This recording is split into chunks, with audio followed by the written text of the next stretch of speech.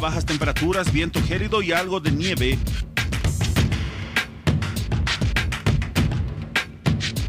La nevada y las bajas temperaturas han congelado buena parte de la carretera Cochabamba-Oruro en la zona de la cumbre.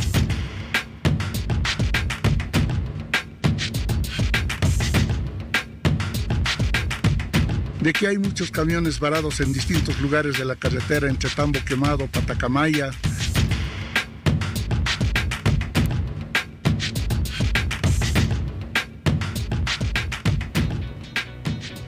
Buenos días. Existe preocupación a raíz de las bajas temperaturas que están azotando no solamente La Paz, sino en distintos sectores del territorio. Como bien escuchaban, por ejemplo, en el sector de Patacamaya, Tambo Quemado, inclusive una gran cantidad de vehículos se quedaron detenidos a raíz de lo que usted está apreciando en su pantalla, la nieve. Hemos llegado con uno de nuestros equipos hasta la cumbre, uno de los lugares donde se ha situado el conflicto, y le digo conflicto porque la gente de tránsito ha salido para recomendar a todos los conductores que se dirigen, por ejemplo, a la zona de los Yungas, que conduzcan tan solo a 20 kilómetros por hora por el peligro inminente en estas carreteras. Y vemos aquí imágenes, Héctor, compañeros, ¿cómo están? Buenos días, Bani Edison, que mucha gente eh, aprovechó estos días de las nevadas para utilizarlo como distracción familiar en muchos casos, entre amigos, aprovechar eh, la nieve. Pero más allá de aquello, de pasar un momento de grato esparcimiento, hay mucha preocupación porque hay cuatro vías importantes en el país que se han visto afectadas. La carretera Oruro-Cochabamba, por ejemplo, intransitable durante las primeras horas de la mañana. Espera nuevo aviso. La terminal de buses cerró sus salidas a diferentes departamentos del país. En el departamento de Chuquisaca, por ejemplo, se han registrado recientes heladas, la más aguda en el municipio de Padilla y la otra en el municipio de Azurduy, donde existe preocupación por la afectación también a los cultivos. Pero, a ver, lo que también está eh, preocupando a la ciudadanía no solo son los caminos, también les preocupa mucho las personas que viven en condición de calle por las bajas temperaturas que se están sintiendo, por el temor de que estas personas puedan eh, morir por una hipotermia se están preocupando también por aquellas mascotitas que viven en la calle. Las bajas temperaturas se sienten, los resfríos van a estar más presentes eh, que nunca y es por eso la recomendación que se les da a toda la ciudadanía de que por favor salir abrigados. Se habla de que en las unidades educativas, eh, tanto privadas como públicas, va a haber una tolerancia para poder ingresar media hora después de lo habitual, justamente por la ciudad de La Paz. Estamos hablando que en ciertos departamentos, no, en todo el país. Es así, hablamos de que se ha sostenido una reunión con el ministro de Educación, pero está para analizarse y el día viernes recién definirán si es que desde el día lunes se asume esa media hora más de tolerancia. Entre tanto que también eh, mencionarles de que se han realizado diferentes limpiezas en estas rutas eh, donde estaban, eh, obviamente el paso estaba perjudicado. El día de hoy estaremos conociendo mayores detalles sobre las temperaturas, sobre el descenso de las temperaturas en todo el territorio nacional, siempre haciendo la recomendación, por supuesto, a toda la población. Hola a todo el mundo, ¿cómo están? Bienvenidos una vez más. Estos son nuestros títulos.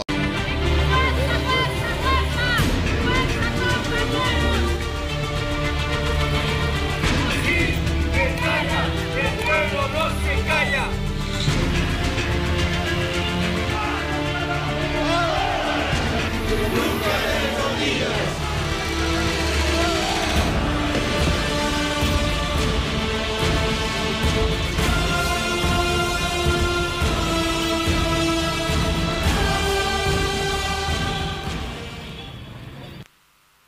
Y estábamos observando las imágenes y haciendo una evaluación de lo que ha sido el primer día de paro cívico de 48 horas convocado, recordemos, por la UPEA y diferentes sectores que se sumaron a estas movilizaciones. Diferentes piquetes de huelga, igual hasta ayer cinco que se habrían confirmado y bajas entre universitarios, docentes y administrativos. ¿Qué fue lo que dijo la Unidad Operativa de Tránsito?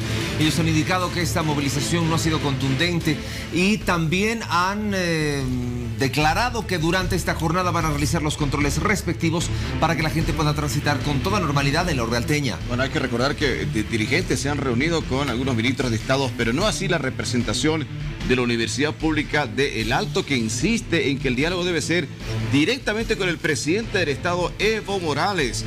Además pide la renuncia de muchos eh, representantes del Estado Ahora habrá que decir de que el eh, gobierno insiste en el diálogo aún en este segundo día de paro que continuará, según las últimas evaluaciones que realizaron los miembros de la Universidad Pública del Alto. Ayer justamente la ciudadanía se quejaba justamente por estos bloqueos suscitados en la ciudad del Alto, ya que se vieron afectados personas eh, que justamente les tocó eh, un gran tramo de la ciudad del Alto eh, caminar porque las movilidades justamente no las dejaban pasar.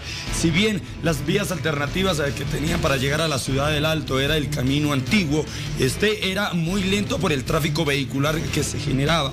Muchas personas optaron también por em, utilizar lo que era la línea de mi teleférico para poder llegar a la urbialteña. Sin embargo, fue un caos y mucho perjuicio, por lo menos así lo decían los choferes. Vamos a ver la evaluación que realizaron eh, los representantes de la Universidad Pública del Alto que insisten en que el diálogo debe ser directamente con el presidente del Estado. La primera jornada de paro cívico en la ciudad del Alto estuvo protagonizada por varios puntos de bloqueo, además de movilizaciones.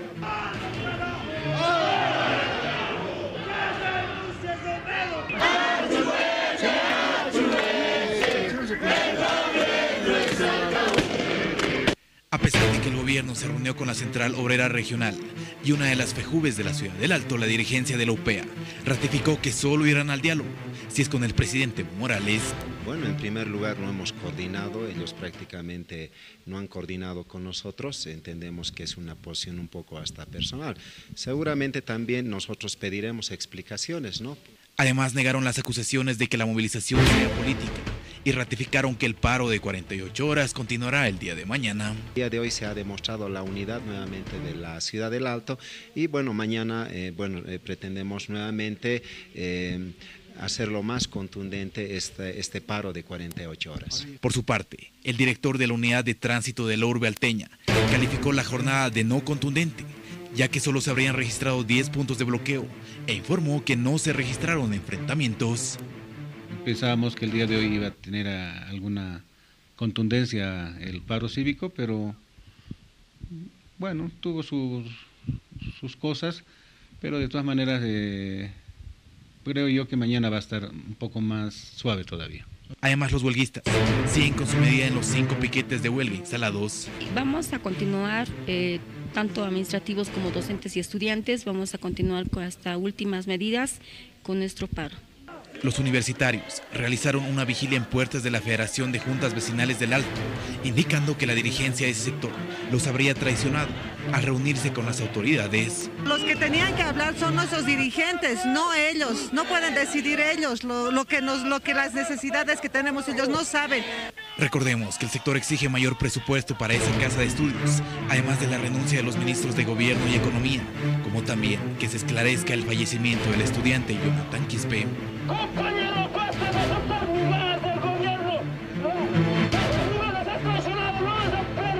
Bueno, y con respecto a este tema, no solamente están en pie las marchas, los bloqueos, las protestas, en fin, sino que también las investigaciones, porque los funcionarios de la Fiscalía de La Paz se han aproximado hasta las dependencias de la Unidad Táctica de Operaciones Policiales, la UTOP, según información extraoficial, para entregar notificaciones a tres uniformados de esta unidad para que se constituyan en las próximas horas al Ministerio Público a brindar sus declaraciones informativas. Todo esto respecto al caso de la muerte del joven universitario de la UPEA, Jonathan Quispe, con el avance de las investigaciones para esclarecer este caso, hasta el momento ya habrían declarado en la fiscalía tres policías del UTOP.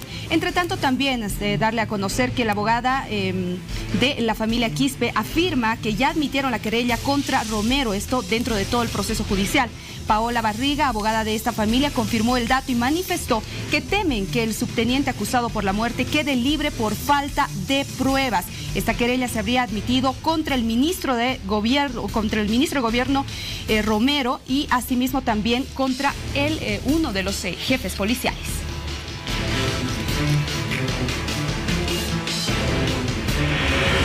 Muy bien, pero momento de saludar a Víctor Hugo Rojas, el que se encuentra en este momento en la terminal de buses. Víctor Hugo, ayer salió un comunicado justamente donde se suspendían las salidas a todos los departamentos, esto debido a las nevadas y justamente también a los bloqueos que se suscitaron en la ciudad del Alto. ¿Cuál es el panorama? ¿Cómo está la transitabilidad? ¿Cómo estás, Edison, amigos de todo el país? Amanecemos desde la terminal de buses eh, cuando tenemos 4 grados centígrados al momento y bueno, este comunicado que marcaba dos puntos, la nieve como también el problema que se tenía en la urbe alteña, decía hasta nuevo aviso pero por lo menos lo que se ha podido ver y es lo que nos informan también acá desde la administración de la terminal de buses es que eh, desde la jornada pasada por la noche se han estado suscitando las salidas con normalidad y a este momento también eh, las salidas se están dando, por lo menos en la parte externa eh, tenemos buses que están saliendo tanto a los destinos como ser Oruro y Cochabamba. Al menos nos decían que se va a trabajar hasta las 7 de la mañana, eh, siempre previendo que no exista ningún tipo de bloqueo en la urbe alteña. De darse alguna situación de este tipo, es que se van a cancelar las salidas por seguridad de los pasajeros, como también de los motorizados y las empresas operadoras. Vamos a consultar rapidito. Muy buenos días. ¿Hay salidas a esta hora de la mañana? Acabamos de llegar. Todavía vamos a mandar a consultar a tránsito. ¿Anoche ha habido salidas? Por eso era otro turno el que trabajaba. De todas maneras, ya una empresa operadora ya está iniciando su jornada laboral, como estamos eh, viendo, existen ya pasajeros, pues eh, la gente eh, tiene la necesidad de trasladarse a distintos puntos del país desde la ciudad de La Paz, como también se han estado suscitando los arribos, hemos visto gente que ha estado llegando de Potosí, como también de Cochabamba. Esperemos continúe así la figura, no se marque en el perjuicio para la población, Edison. Bueno, muchísimas gracias, Víctor Hugo. Entonces, las carreteras están habilitadas, sin embargo, ya saben, por favor, a todas aquellas personas conductores, de que tomen eh, precauciones, por favor, manejar con cuidado, no excederse en la velocidad para evitar accidentes de tránsito. Y justamente nosotros le mostramos esas imágenes que usted tiene en pantalla, porque al día visitó la cumbre y justamente queremos mostrarle las repercusiones. La nevada que cayó en las últimas horas permitió que varias familias se hagan presentes en la cumbre para disfrutar de momentos únicos. Algunos niños conociendo por primera vez la nieve y en otros casos adultos que disfrutaban de resbalar por el cerro nevado. Me he resbalado. ¿cómo le estás pasando? Bien. ¿Qué es lo que ya has hecho? Ha hecho un muñeco de nieve. Muy bien. ¿Y cómo es la nieve? ¿Cómo les dirías a las personas que no conocen la nieve? ¿Cómo es la nieve? Bonita y linda. Pequeños para que conozcan igual. La primera experiencia de los Primera vez. ¿Y qué les estás enseñando? Veo que aquí ya están armando eh, muñequitos. A ver qué puede ser. Sí, desde que tenemos dicho, desde la casa están muñeco de nieve, muñeco de nieve. Súper, súper. ¿Qué es lo que más, qué, cuáles son las actividades que han realizado? Eh, no sé si más arriba. Sí, nos hemos pasado bien muchos unos ositos y nos ha salido bien, pero aquí nos han fregado. hemos esbalado, ¿no? Nos hemos inventado pues esbalar con chamarro, nos hemos jalado, ¿no? más, más arriba está más bonito, más, más hondito está. El nevado. Pero no en todos los casos este temporal fue bien recibido, pues todos aquellos conductores que deben transitar la ruta hacia los yungas aseguraron que principalmente en horas de la madrugada es que una intensa neblina impidió circular con normalidad. Es por eso que toman todos los recaudos necesarios para así evitar desgracias. Por lo menos ahora está con niebla, con neblina, siempre tener nuestras rompenieblas ahí. También vamos a tener nuestros ojos de gato, todo eso para el tramo y siempre con precaución. Justamente lo hice arreglar bien el auto, verificación de los frenos y las luces. Por su parte, personal de tránsito realiza los controles de luces, botiquín y equipos de auxilio antes de que cualquier vehículo vaya a partir con destino a los yungas. Lo que se está indicando a los conductores es que eh, conduzcan con precaución, siempre reduciendo la velocidad y con las luces encendidas durante todo el trayecto, ¿no, ¿No es cierto? Donde hay eh, neblina o, nieve o lluvia. En, realidad todo el sector que es desde eh, Urujara hasta Unduabi es donde se está viendo el clima que está con bastante nieve y neblina es todo en ese trayecto donde se les está indicando, ¿no? específicamente no se les dice en qué puntos más eh, tienen que encender sus luces, se les explica que todo el trayecto tiene que estar con luces encendidas, con guiñadores si es que van a bajar la velocidad o luces de parqueo. Si bien todos los conductores que transitan por este sector deben circular a poca velocidad, la transitabilidad en este sector es completamente normal.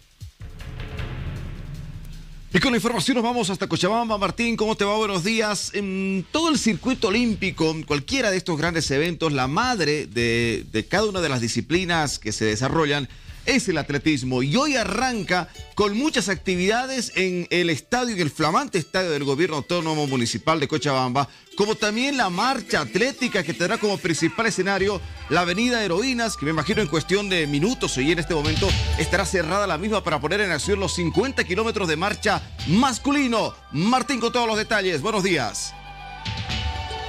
¿Cómo estás, Richard? Buenos días, amigos de todo Bolivia. Buenos días. Eh, podríamos decir que el atletismo va a marcar la segunda parte de las actividades de los Juegos Suramericanos en Cochabamba. Hoy arranca con bastantes actividades, como bien eh, señalabas. Hay también una nutrida agenda en otras disciplinas deportivas durante esta jornada en Cochabamba, como no podría ser de otra manera, viviendo y vibrando con estos Juegos Suramericanos. El apunte está bien eh, establecido en el tema de la Avenida Heroínas en, en concreto, porque dos kilómetros de esta avenida se van a cerrar por lo menos desde la ah, avenida Oquendo hasta la avenida Rubén Darío, que está a los pies del Cristo de eh, la Concordia, como bien se ha mencionado. Hay un recorrido establecido también por la organización, donde se muestra este recorrido de dos eh, kilómetros. Hoy, en verdad, se va a desarrollar la competencia de marcha durante 50 kilómetros para la rama masculina y 20 kilómetros también para la rama femenina. El, evento comienza a las 7 de la mañana para los varones y aquello va a implicar que se desarrolle básicamente durante toda la mañana. Minutos también nosotros nos trasladamos hasta este lugar para poderles transmitir las incidencias de un evento que sin lugar a dudas va a ser bastante interesante, va a cortar parte de la ciudad, pero va a implicar también la atención de mucha gente que está en este recorrido. Insistimos, desde la avenida Oquendo hasta la avenida Rubén Darío en el trazo de la avenida Heroínas, pues se va a cortar porque se va a desarrollar esta competencia. Al margen de ello, también el escenario principal de atletismo que está en la parte sur de la ciudad de Cochabamba va a tener hoy abundante cantidad de y por supuesto también el público que se espera pueda acompañar a todos los visitantes que van a estar desarrollando distintas disciplinas desde esta jornada. Así que muchísimo para informar desde Cochabamba como siempre respecto a los Juegos Suramericanos, Richard. Bien, gracias. Vamos a arrancar con los 50 kilómetros masculinos a las 7 de la mañana, Martín, con nuestros, esperemos, gran representación boliviana, porque tenemos también mucha esperanza de medallas en el atletismo. Y a las 9 de la mañana estaremos con los 20 kilómetros femeninos, esto en la avenida de, de, de, de- Heroínas, bien tú lo mencionabas, para que la gente tome algunos recaudos. Ahí hay como tenemos justamente en el mapa para la gente que transita por este lugar, muy transitado además habrá que decir allá en Cochabamba. Y más adelante, querido Martín, estaremos hablando acerca del béisbol porque la dupla Pérez en masculino va avanzando. Ayer le ganó a la representación, a la segunda representación de Venezuela en la gran presentación que tuvo el beach volley, que se convierte también en otra de las fortalezas. Se ha tenido con grandes representantes en Cochabamba. Ya se ganaron eh, medallas doradas, por ejemplo, también en los anteriores Juegos Bolivarianos que se desarrollaron en la capital en rama femenina. Tendremos a los protagonistas más adelante, Martín, y por supuesto seguiremos hablando de los eh, Juegos Suramericanos, el gran evento que reúne a los deportistas de todo el continente y nosotros estamos también al tanto para poderles informar lo más importante de este gran evento. Martín, estaremos atentos entonces, Martín, a todo lo que nos vayas a reportar con esta prueba de marcha atlética que arranca a las 7 de la mañana en la avenida Heroínas. Muy buenos días. Y nos levantamos con ganas, con energía, buen ritmo, muy buena música a esta hora de la mañana. Buen día, Bolivia. Está haciendo frío, yo me abrigué un poco más.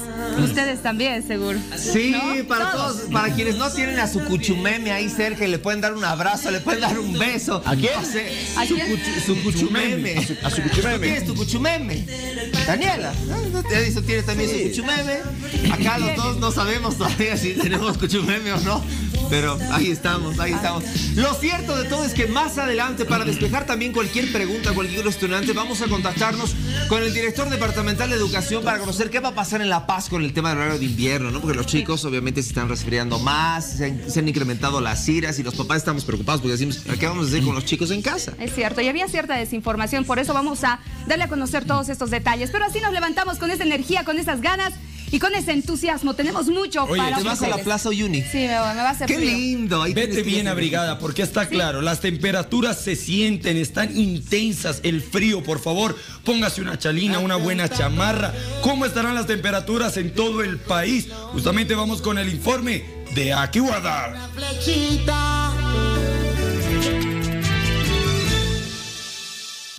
Desde el Centro de Comunicaciones de AccuWeather les saluda a Marvin Gómez con las condiciones del tiempo para Bolivia, exclusivamente para nuestros amigos de Bolivisión. Y en este martes, déjenme decirle que estamos viendo esas temperaturas en los 26 grados para ustedes allá en Trinidad. Mientras tanto, Cochabamba con 25 grados, Potosí 11 y un poco más de nubosidad para ustedes en el sector de, de Tarija. Vemos esas temperaturas cerca de los 20 grados. Mientras tanto, para Santa Cruz, Cruz. Esperamos ver esas nubes con nosotros durante gran parte del día. 21 grados la máxima. Oruro cuenta con esa posibilidad de algunos aguaceros pasajeros. 12 grados la máxima. Sucre con 19. Y allá en Puerto Suárez vemos una máxima de 92 grados. También en San Ignacio, sol abundante para ustedes, al igual que para Cobijas y al norte con 28 grados. Vemos La Paz.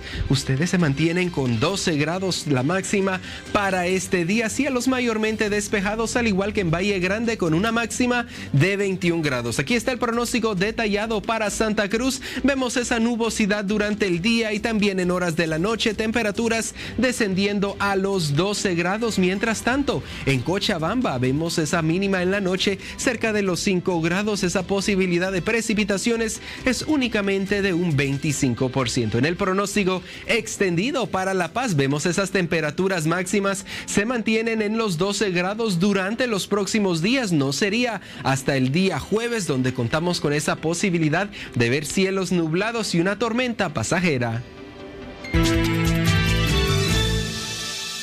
Sí, efectivamente las temperaturas están bajas, pero siempre es importante un buen desayuno. Gatito, ¿cómo estás? Esa chalinita, ¿eh? Pues, Edison, buenos días y a todo mi país, Bolivia, mi amado país, muy buenos días. ¡Eso! ¡Gatito! Ahí Me está con gusta tu chalina. Ah, cucharita de huevito. Ahí está, pues. Ahí está. Para el frito que está haciendo frío. Pues, señoras y señores, puede estar, eh, puede estar haciendo frío afuera. Pero yo sé que con el calor humano que te vamos a transmitir hoy día, con esta alegría, vamos a calentar todo, todo, todo lo que tú tienes ahí. A ver, gatito, ¿cómo vamos a empezar el desayuno en tan solo cinco minutos? Bueno, a pues ver, para nuestro desayuno, tan solo cinco minutos. Ayer me dijiste, quiero que me hagas un sándwich de palta, igual que en el mercado de San Antonio. Sí. Yo dije, bueno, ¿para qué? Bueno, esto nos va a traer, dije. Pero esto el golosito se lo ha comido todo y no nos trajo. Por eso hoy día vamos a hacer un super sándwich de palta. a. Ese estilo de obrajes de la ciudad de La Paz. Y que todo el mundo se antoje. Y aparte aprenda para que se pueda hacer igualito. Eso está bien, gato, así. ¿no? Y para nuestro plato fuerte, hoy día es martes de repostería. Martes de repostería. Pero hemos dicho, comencemos a, co- a- a- a cocinar un cacho más saludable y para personas que de repente necesitan aprender algo más. Hoy dedicado a los diabéticos. Vamos Oh, a hacer Oh, bien, un plan gatito. casero de café. Plan casero de café para diabéticos. Van a ver que es una sencilla preparación que va a otorgar a los diabéticos ese postrecito que tiene dulce, pero no exactamente con azúcar. Oye, gatito, y hablando justamente, ya que estamos en la cocina, hablando de la gastronomía un poquitito, quiero hablarte justamente de lo que se va a realizar este 18 de junio, justamente, que se realizará el Aptapi más grande del mundo, en el cual se prevé participen las diferentes provincias eh, que componen el departamento de La Paz. Este Aptapi, en el que se prevé que estén también presentes autoridades nacionales, departamentales y municipales, acabará desde, eh, empezará desde la Plaza Mayor de San Francisco, recorrerá toda la Mariscal Santa Cruz hasta llegar a la Fuente del Prado Paseño.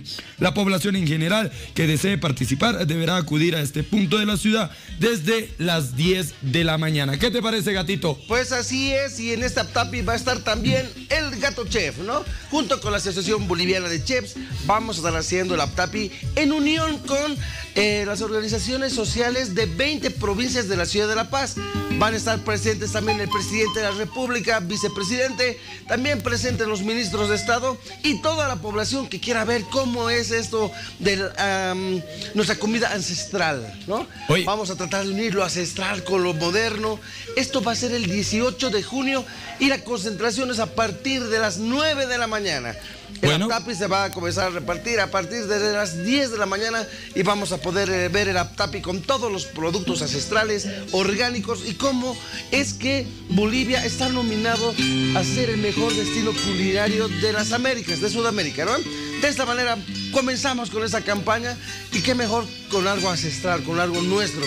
Con eso que de repente estamos perdiendo los jóvenes. Nuestra comida ancestral, nuestra comida orgánica y natural y sobre todo es una comida muy saludable.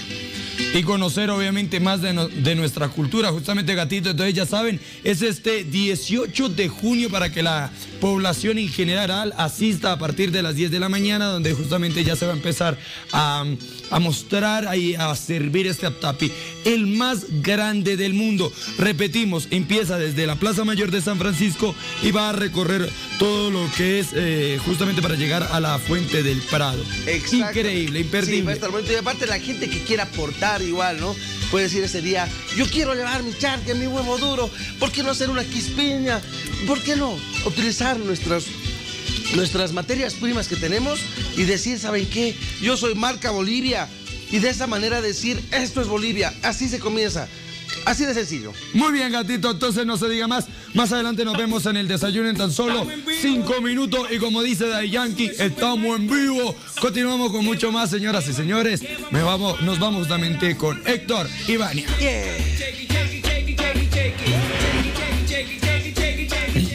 Muchas organizaciones van y están en este, momen- están en este momento em, apoyando a campañas en las que se pueda dar cobijo a personas que están padeciendo por las bajas temperaturas. Sin duda alguna es importante el apoyo que realizan y deben realizar las autoridades, pero la población en general.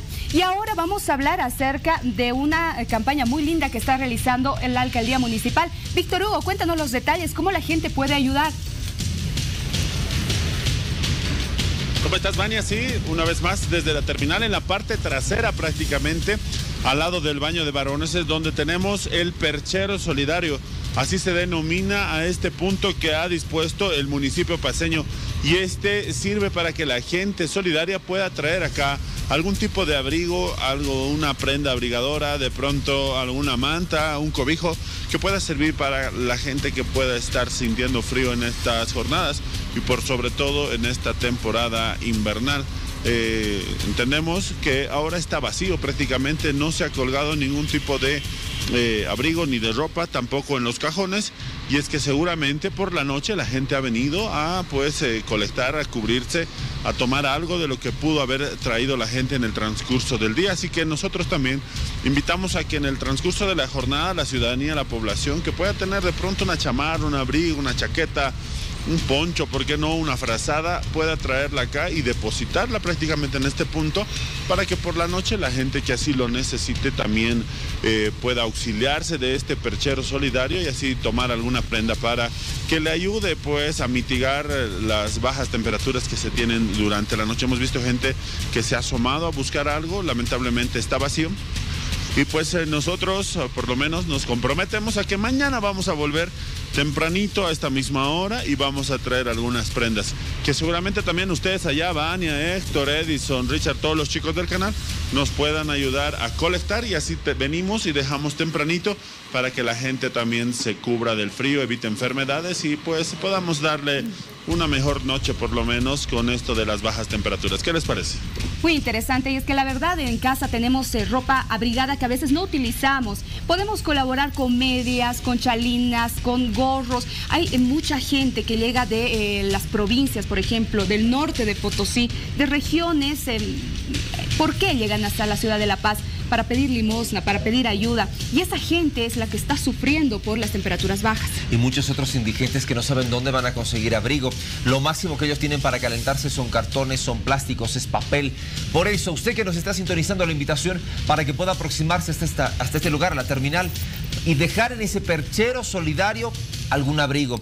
Y apoye, no solo en esta campaña, hay otra también similar que realiza mi teleférico, si no me equivoco. Así es, también hay otras campañas que se están realizando. Víctor Hugo, por favor, reiteremos el lugar exacto donde está este perchero para que la gente eh, tenga conocimiento, para que pueda eh, dejar su abrigo también. Bien, les mostrábamos, es la parte trasera de la terminal de buses, muy cerca a las cafeterías, y al lado prácticamente del eh, baño de varones, el ingreso del baño de varones. Está unos pasos prácticamente, esta es la puerta de baño de los varones. Y aquí al lado derecho tenemos el perchero y las cajas solidarias, que como le decía a esta hora están vacíos prácticamente. No se ha podido llenar ningún tipo de prendas y si han estado llenos seguramente ya han sido dispuestas. Entonces acá es donde podemos traer todos nuestros objetos eh, abrigadores. Ya lo decían muy bien ustedes, medias chalinas, chompas, de pronto algunos gorros, una manta, una cobija, una chamarra, un abrigo. Todo nos va a servir para mitigarnos de este frío y de las bajas temperaturas que estamos teniendo más en la sede de gobierno. Muy bien, Víctor Hugo, te agradecemos por este contacto. La gente tiene que acudir, ¿vale?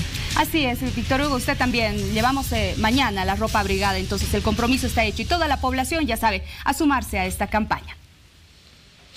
Nos mantenemos con nuestra unidad móvil número uno. Vamos de inmediato con nuestro contacto a la unidad móvil número dos. Y estamos con el cabo Luis Ramos desde la terminal Minasa. Cabo, le saluda Héctor Uriarte. Un gusto que nos acompañe para consultarle acerca de la transitabilidad en la ruta hacia los Yungas. ¿Cómo se están llevando adelante los controles? Buen día. Con terminal Minasa. Eh, yungas eh, están con toda normalidad y por la nevada que ha ocurrido este fin de semana ha disminuido un poco las salidas, pero es con toda normalidad. Y así también que estamos con todas las recomendaciones que tomen los conductores. Eh, ese sería todo. Cabo Ramos, es justamente sobre las recomendaciones. Yo quisiera que las pueda reiterar porque sé que la carretera en algunos tramos se ha visto congelada y esto podría perjudicar que los conductores puedan conducir de manera regular. Eh, es así, entonces que estamos, nosotros estamos recomendando que vayan todo con precaución y también que se lleven todos sus equipos de viaje. ¿En alguno de los puntos de control hay más efectivos policiales que de costumbre? ¿Usted se ha comunicado con sus camaradas? Sí, es así. eh, Estamos con eh, Tranca de Urujara, también nos hemos comunicado para que haya eh, ese de- tipo de control. Cabo, ¿usted ha conversado con algunos de los conductores? ¿Les han, ¿Le han comentado algo sobre problemas en la carretera? Sí, hemos, nos hemos comunicado, hemos conversado con los conductores.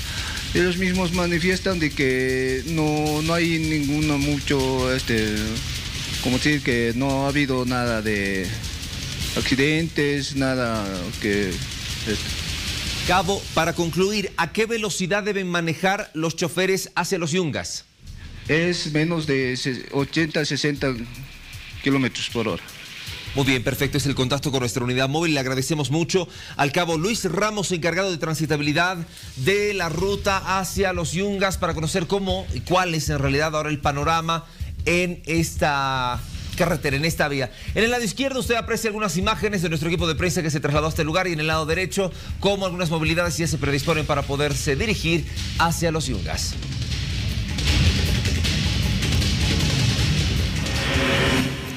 Vamos a cambiar de información y es indignante lo que ha ocurrido esto en el eh, sector de Achocalla porque le contamos de que una concejal ha denunciado que el alcalde la habría agredido físicamente solo por fiscalizarlo.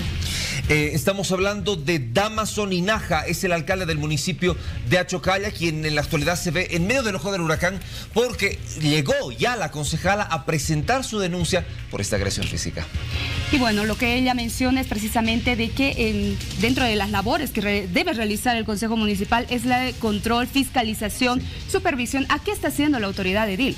Sin embargo, la reacción de esta autoridad fue la agresión, un golpe contra esta concejal. Y debemos hablar, Héctor, que son varios los casos de acoso político, por ejemplo, mujeres en diferentes regiones del país que son presionadas, por ejemplo, a renunciar a su cargo. Así es, vamos a conocer la noticia como tal. Ella es Mari Carmen de la Cruz Mamani, es concejala municipal de Achocalla por la agrupación ciudadana Lucha de Unidad Social Primero de Septiembre. Llegó hasta la ciudad de La Paz para denunciar al alcalde de dicho municipio por haberle propinado un puñete el pasado primero de junio. El día viernes en horas de la tarde, en estado de ebriedad, el alcalde Damason Inajahuanca me dio un puñete de frente sorprendiéndome a mi persona. Aquí ven cómo está mi rostro y botándome al piso. Y ahí me ha querido aprovechar. La autoridad municipal también denunció que esta no sería la primera vez que sufre violencia física y política por parte del burgomaestre de Achocalla, a quien le acusa de realizar varias irregularidades en su gestión.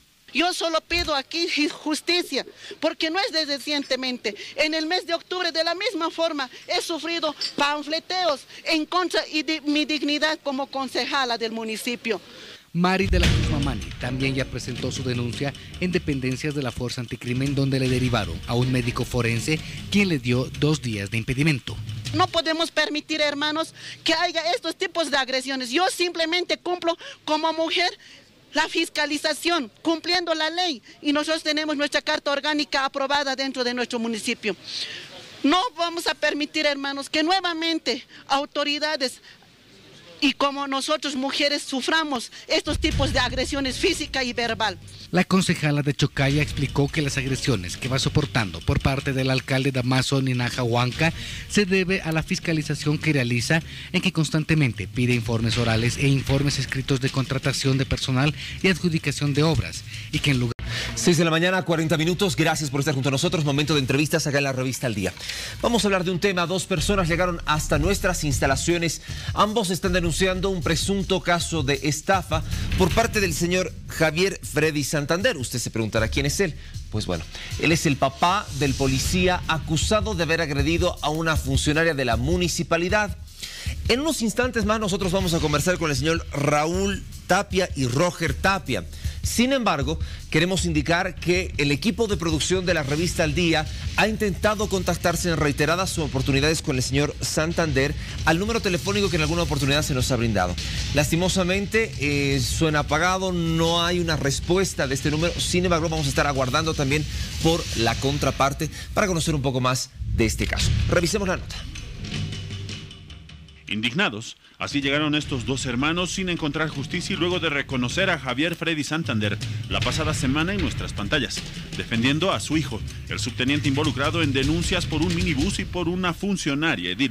Ahora la denuncia va directamente contra el padre. Información rápida que indica que el señor Santander es propietario del dueño en, eh, la zona eh, Distrito 8 de Parcopata y ahí tienen también podemos ver el que su folio real es original, todas esas. Todo el documento original. Correcto, correcto. Estos hermanos aseguran que hace cinco años adquirieron un terreno en la ciudad de El Alto con estos documentos, papeles originales y que dan la titularidad al señor Javier Freddy Santander y su esposa, a quienes entregaron casi 100 mil dólares en efectivo por la compra de este predio. Nos llevamos eh, la sorpresa de que existe otro dueño, que es el señor eh, eh, Vicente Ticona. Ahí nosotros hemos analizado que también podría ser un clan que esta situación uh, de lo que nos han estafado podía estar ahí metido.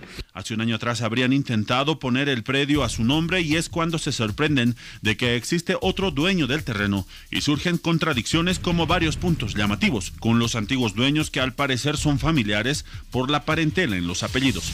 Este señor Javier Santander tiene un contacto que le vendió antes su sobrina es Ingrid Karina Quisber Santander, que sería sobrina de este señor Santander, de este señor Javier Santander.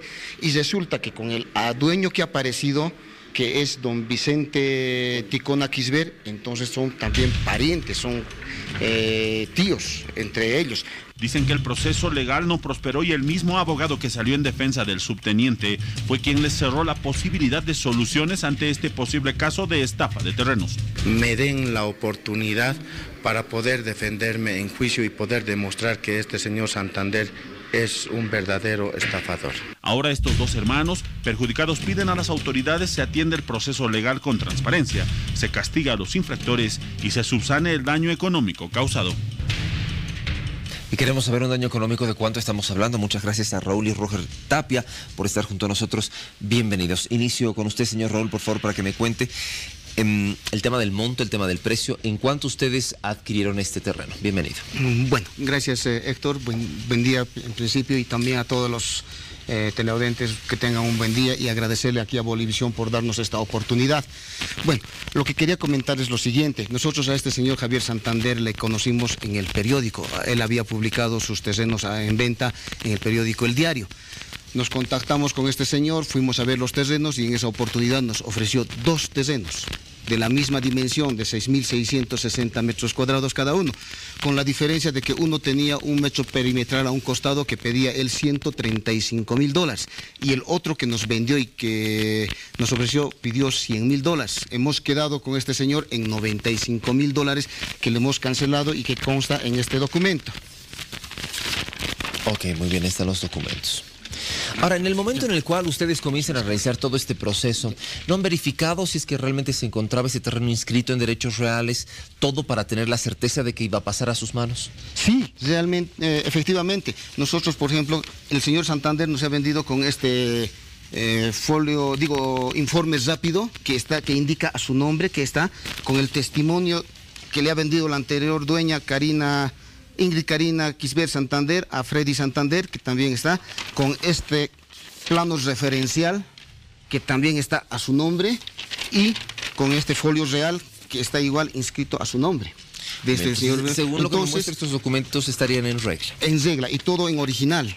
¿no? Entonces, nosotros hemos cancelado, hemos hecho la transacción eh, eh, efectiva, le hemos cancelado en efectivo los eh, 95 mil dólares a él y a su esposa. Ya, y resulta cuando hemos empezado a hacer nuestro trámite de eh, propiedad para poner a nuestro nombre la documentación, hemos logrado poner en la localidad de Achocalla hasta el folio real. Hemos logrado poner, hemos hecho, hemos cambiado el testimonio, hemos cambiado el folio real. Y resulta cuando ya vamos a catastro, nos damos la sorpresa de que el terreno había estado a otro nombre.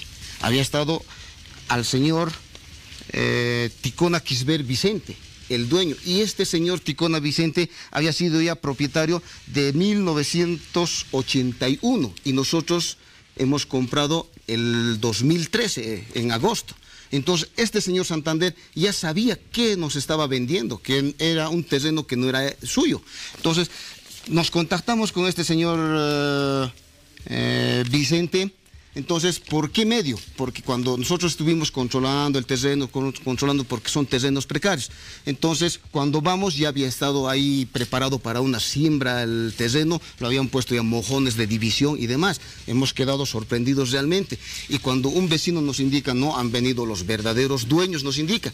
Entonces, hemos contactado con este señor Vicente y nos empieza a demostrar y nos da estas fotocopias de que realmente es el verdadero dueño, que ellos lo habían inscrito y lo habían cambiado de jurisdicción a la ciudad del Alto, como dice acá, a la ciudad del Alto. Entonces ellos ya tienen todo catastrado Eso y demás saber, en la ciudad el del Alto. ¿El terreno estaba inscrito en qué municipio? Eh, el que nos ven... Perdón, ¿en qué, en qué, en qué municipio estaba? Estaba el que hemos comprado en el municipio de Achocalla y el, el que tiene el señor eh, Ticona está en el Alto. Bueno, los, según los datos, usted me dice que en el, en el alto estaría todo regular también. Completamente. Por ejemplo, de nosotros hemos llegado a tenerlo, como dice mi hermano, hasta el folio real. Para poder catastrarlo ya no nos dieron curso porque ya estaba registrado en la ciudad del Alto el terreno. Entonces nos llevamos la sorpresa de que había ya otro dueño. Bueno, hay inscripción en dos municipios, entonces tendría que haber un cruce de información para saber cuál de los dos municipios tiene realmente la razón. ¿Han hecho eso? Eh, Correcto. Hemos sacado, por ejemplo, información eh, mm, trentenal, hemos sacado información eh, tradicional, todo lo hemos sacado. ¿Y qué es lo que les han dicho? ¿Qué dice la información? Por ejemplo, En este trentenal indica, por ejemplo, esto es de la ciudad de, digo, de la localidad de Achocalla, en la Ya. información trentenal.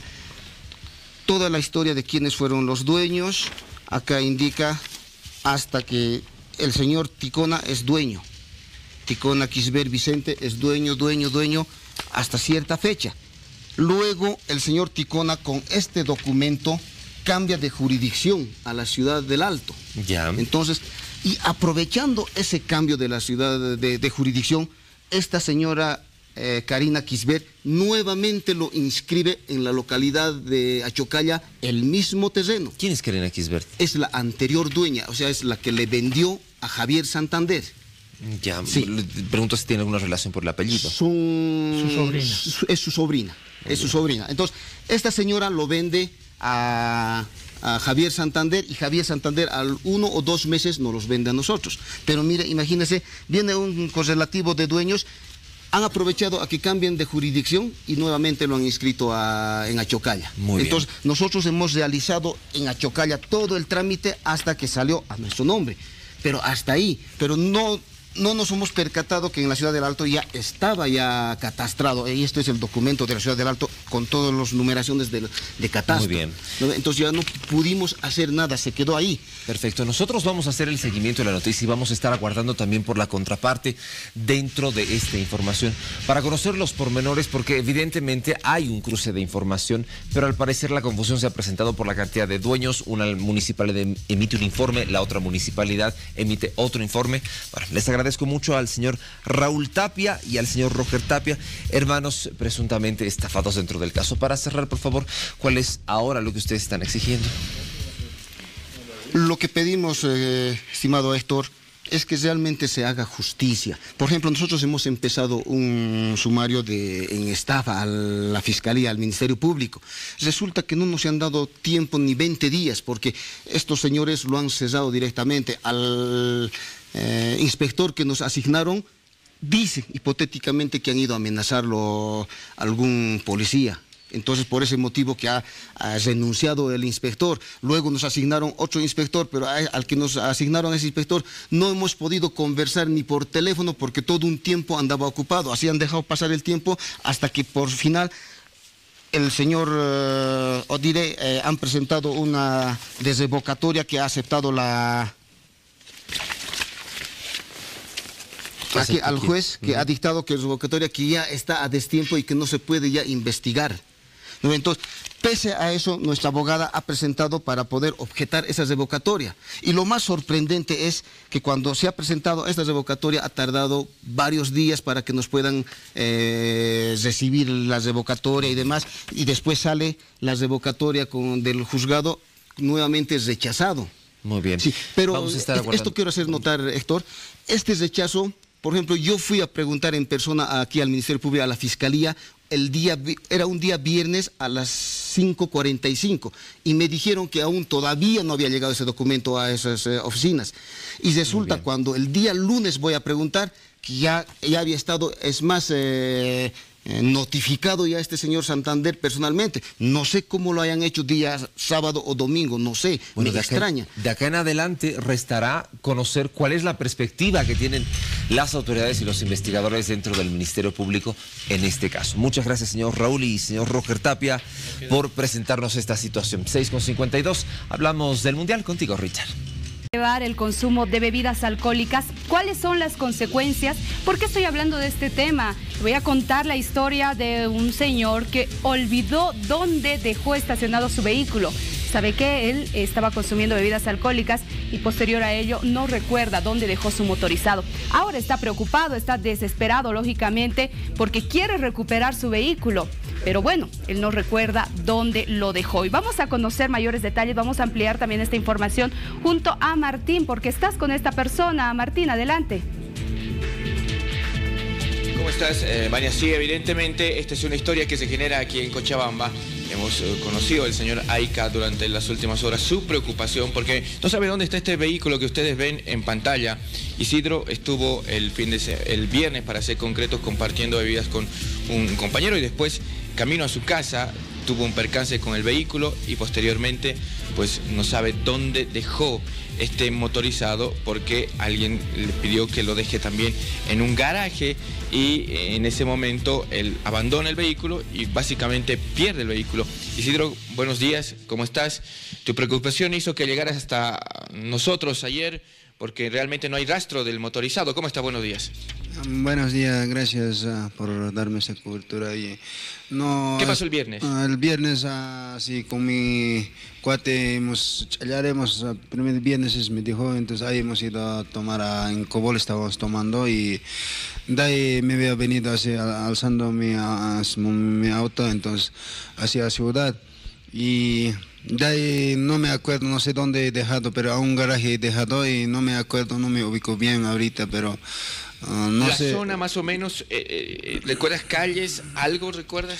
Sí, aquí, ex Vaca Playa, por ahí en esa pampa parece que eh, he dejado, y, pero no me acuerdo, no me ubico bien. Entonces... Esta es la zona de la Tamborada, sí, ¿no? sí, en la parte sur de Cochabamba. Sí, sí, sí.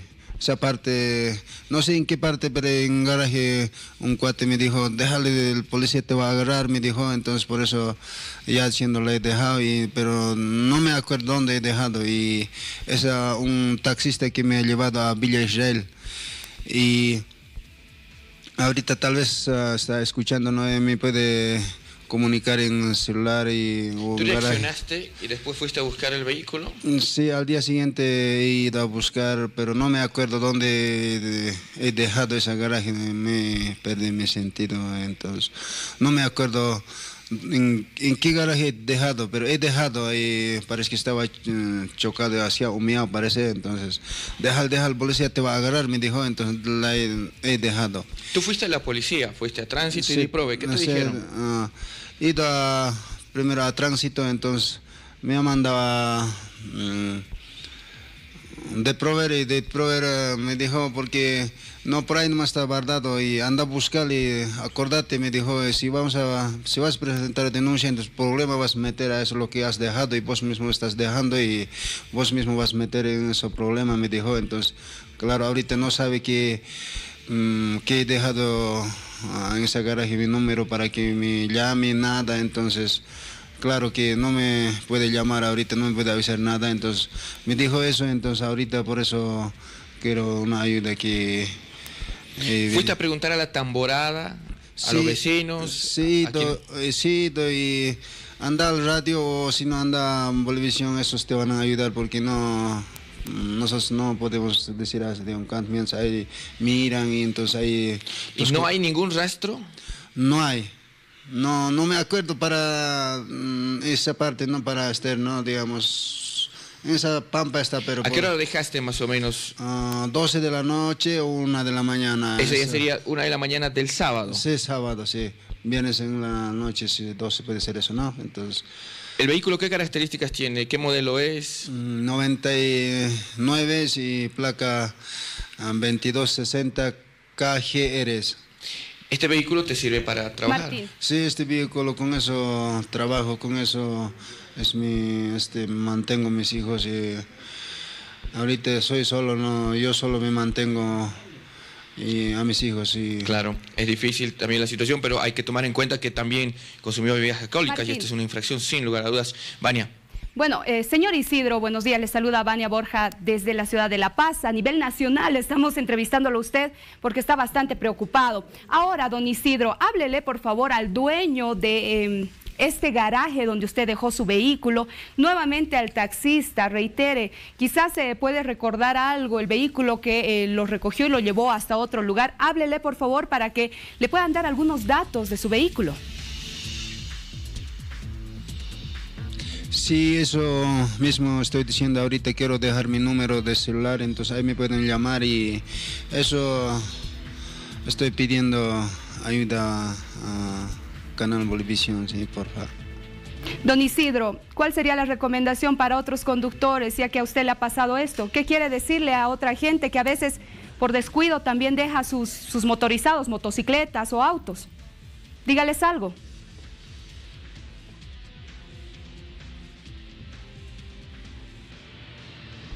¿Qué puedes rescatar tú de tu experiencia? ¿Qué le puedes decir al resto de la gente que de pronto puede estar en la misma circunstancia que tú? Sí, sí, es ah, mi sentido de perdido y no sé, no me acuerdo y hay otros así puede pasar, no. Desde Cochabamba nos daba más detalles sobre esta persona que perdió su vehículo. Seguimos con mucho más en al día. Cinco minutos. Pues señoras, señores, a todos ustedes, muy buenos días. Con la alegría de mi corazón tengo que dar la bienvenida a nuestro desayuno en solo cinco minutos. Gatitos Chef, ¿con qué nos sorprende su día? Bien, bien, chalenita bien bonita. Qué bonita bien, tu bien chalinita. bonita, muy bien, vamos. ¿Qué vas a hacer hoy día? ¿Sabes qué es esto? ¿Qué era? Es ¿Qué de era? la parte de un mantel. Sí, el caminito de un mantel. Un camino, ¿cómo se Un llama? caminito, claro. Pues me frío y dije, bueno, pues utilizaré, le daré un mejor uso. Está de Y moda, me gustó, gatito. ¿no? Y es como corbatita porque mira al final, el triangulito. Sí, está de moda. Gato, ¿tienes tu cuchumeme? ¿Qué cosa? Escúchame ahí cuando hace frío. No que te nadie, soy solo en esta vida. Y te solo. Está solo. Chicas, escucharon bien, está solo. Estoy soltero. Siempre estuvo solo, bueno. Libre y soltero. Con ganas de amar y de querer y de ser fiel sobre todo. Y además que cocina delicioso. Ah, claro, cocina todo. bueno, pues Antes de comenzar, por favor, vamos con Víctor Hugo Roja- Rojas desde la autopista. Recordemos de que hoy se han anunciado diferentes movilizaciones en el Alto, esto a raíz de los conflictos de la OPEA. Víctor Hugo, ya eh, se está bloqueando esta ruta, llegó la policía, cuéntanos los detalles, por favor. Bien, compañeros, hemos llegado hasta la autopista La Paz El Alto, puntualmente en lo que es el peaje. Y acá la circulación se está dando con normalidad a esta hora de la mañana.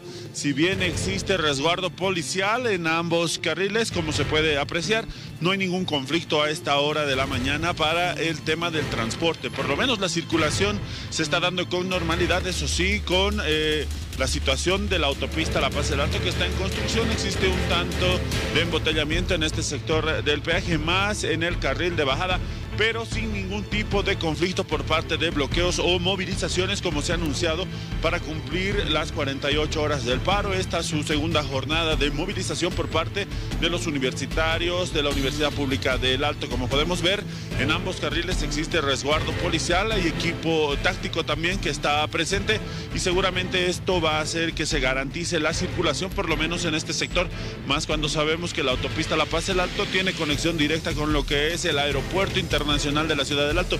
Así que por lo menos a esta hora no hay ningún tipo de conflicto. Vamos a estar recorriendo esta urbe para mostrarle si existe algún tipo de eh, bloqueo o algún perjuicio que se pueda dar a la ciudadanía o a la circulación, compañeros.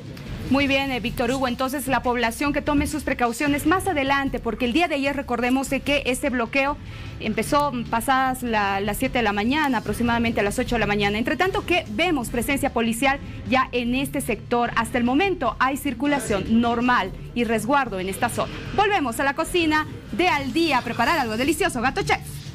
Por supuesto que sí. Ahora Ayer estaba mm, Héctor en Obrajes. Ah, gracias por los sabuchitos, muy ricos. Sí, muy bien, ricos, ricos. Gracias, a mí no me llegó. El mío no me llegó. Le voy a decir a la casera Patricia. Trajo, trajo. Ah, Patricia, a mí, a mí no me trajo, por lo tanto hoy día se queda Bueno, así. Ah, ya. Pero tú te vas más temprano, te vas nueve y media. 10 me voy. Muchachos, hoy un sabuchito de palta, entonces sí. Perfecto, pues Vamos, señoras, señor. señores. 3, 2, 1, arranque, pero vamos. Vamos, pues, Vamos, vamos, vamos. Dijo Gato, no me quedo con las ganas. Eso es. Claro, jamás, con las ganas. Y aparte, tú pediste esto. Y dije, bueno, pues está muy bien, ¿ya? ¿Qué es lo que vamos a hacer? Vamos a utilizar la paltita. Ah, interesante ese Qué aparatito, ¿ah? interesante tu aparatito. Ese aparatito, ¿ah? Nos sorprende con cada artículo que hay para la cocina y uno a duras penas cocinando. Esto en el supermercado. Sácase para sacar la pepa. ¿Qué pasa que la pepita? A ver, no. Estas pepitas están un poquito mal. Vamos a hacer así nomás. A lo tradicional. A la tradicional. Ay, Estos artículos y no sabemos ni para qué es ni preguntamos, ¿no? Ah, esto es para, sacar la palta. para sacar la paltita. Podemos Ya sacar también picada. papita, papita hervida también, podemos sacar con eso. Sí, el huevito hacer- duro para igual hacer Para hacer, puré. para hacer puré. El huevo, también huevito hervido, por ejemplo. Pues sí. Bien, gato. Mira, y ese, y ese aparatito tiene un cuchillito más. ¿Qué vamos a hacer? Vamos a utilizar el cuchillo. Ah, ¿Para qué es ese cuchillo? Pues para partir nuestra próxima paltita. ah no. Esto es especial para palta. Sí. Y para huevos duros. Ah, también. Entonces agarramos la paltita. ¿Cuál cortapluma suizo, no? Muy bien. Ahí está la paltita. Puede inclusive salir ya cortadito, ¿no? Así. Así, de cortadito, pero Qué bueno. cremosa se ve esa palta. ¿no? está, sí, está. Está muy ¿Este delicioso. qué ritmo es, chicos? Bachata, bachata, bachata, Ah, a propósito, vamos a tener novedades, ¿no? Bachata. Qué linda canción. Excelente. Un vallenato transformado en bachata. Eso es. Ahora.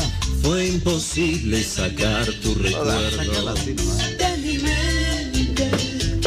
cayó hasta el piso. Fue ¿Qué imposible va a hacer? olvidar que algún día yo te quise.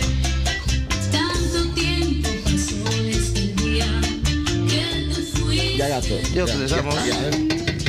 Allí sí Perfecto, te tiene un poquito más, no se desperdicia absolutamente nada. Listo, ya. Se va al basurero. Ya. Excelente. Ahora. ¿Qué es lo que vamos a hacer? Pues señoras, señores, vamos a comenzar a destruir un poquitito más nuestra paltita. Es por eso que no está mi tenedorcito. ¿De qué quieres? Ah, un tenedor. ah, Pero no, no, te no. pasamos en este instante, gato. Un tenedor, me, me ayudas a apretar así, a destruirlo un poquito. Excelente. Luego de eso, ¿qué es lo que va a hacer? Vamos a utilizar una cebollita. Esta es menos ácida, gatito. Sí, esta es un poquito menos ácida. Me gusta esto en las ensaladas. Muy bien. Pero para hacer las comidas, unos ahogados, me gusta, personalmente me gusta un poquito más con la, Morada. con la morada. ¿sí? Entonces vamos a cortar nuestra cebolita. ¿no? Y esto se viene por acá. Antes de eso, me olvidé decirte a ti, ¿dónde estás, Richard? ¿La sal? Sal, No, sal. que te tienes que desinfectar las manos. Vos igual, vos igual, porque vos igual, vos igual. Ya yo por si acaso no ves más. Le voy aplicando esta sal, ¿no? No, no, no. Todavía no, ¿Sí? tranquilo, tranquilo. Una gota de limón para que Claro no que se... Allá limoncito, por Ah, favor. ¿Para qué echamos el limón? Para que no se oxide, Para que no se, para que no se haga negro. ¿no es cierto? A ver. Ya, ya, ya. Yo la verdad le pongo limón por sabor, no porque se oxide. la Y verdad, no soy- también, y también. También, claro. No, eso le aplicamos por el sabor, no Ah, porque... Claro, pero es matar dos pájaros de un solo tiro, está bien. Ya, ya. Ya, ya, ya. Soy una li- li- limonada de palta vas a decir, está bien. Luego vamos a poner tomatito. Tomate. Vamos a poner quirquilla. escucharte, confidente y cuéntale todo.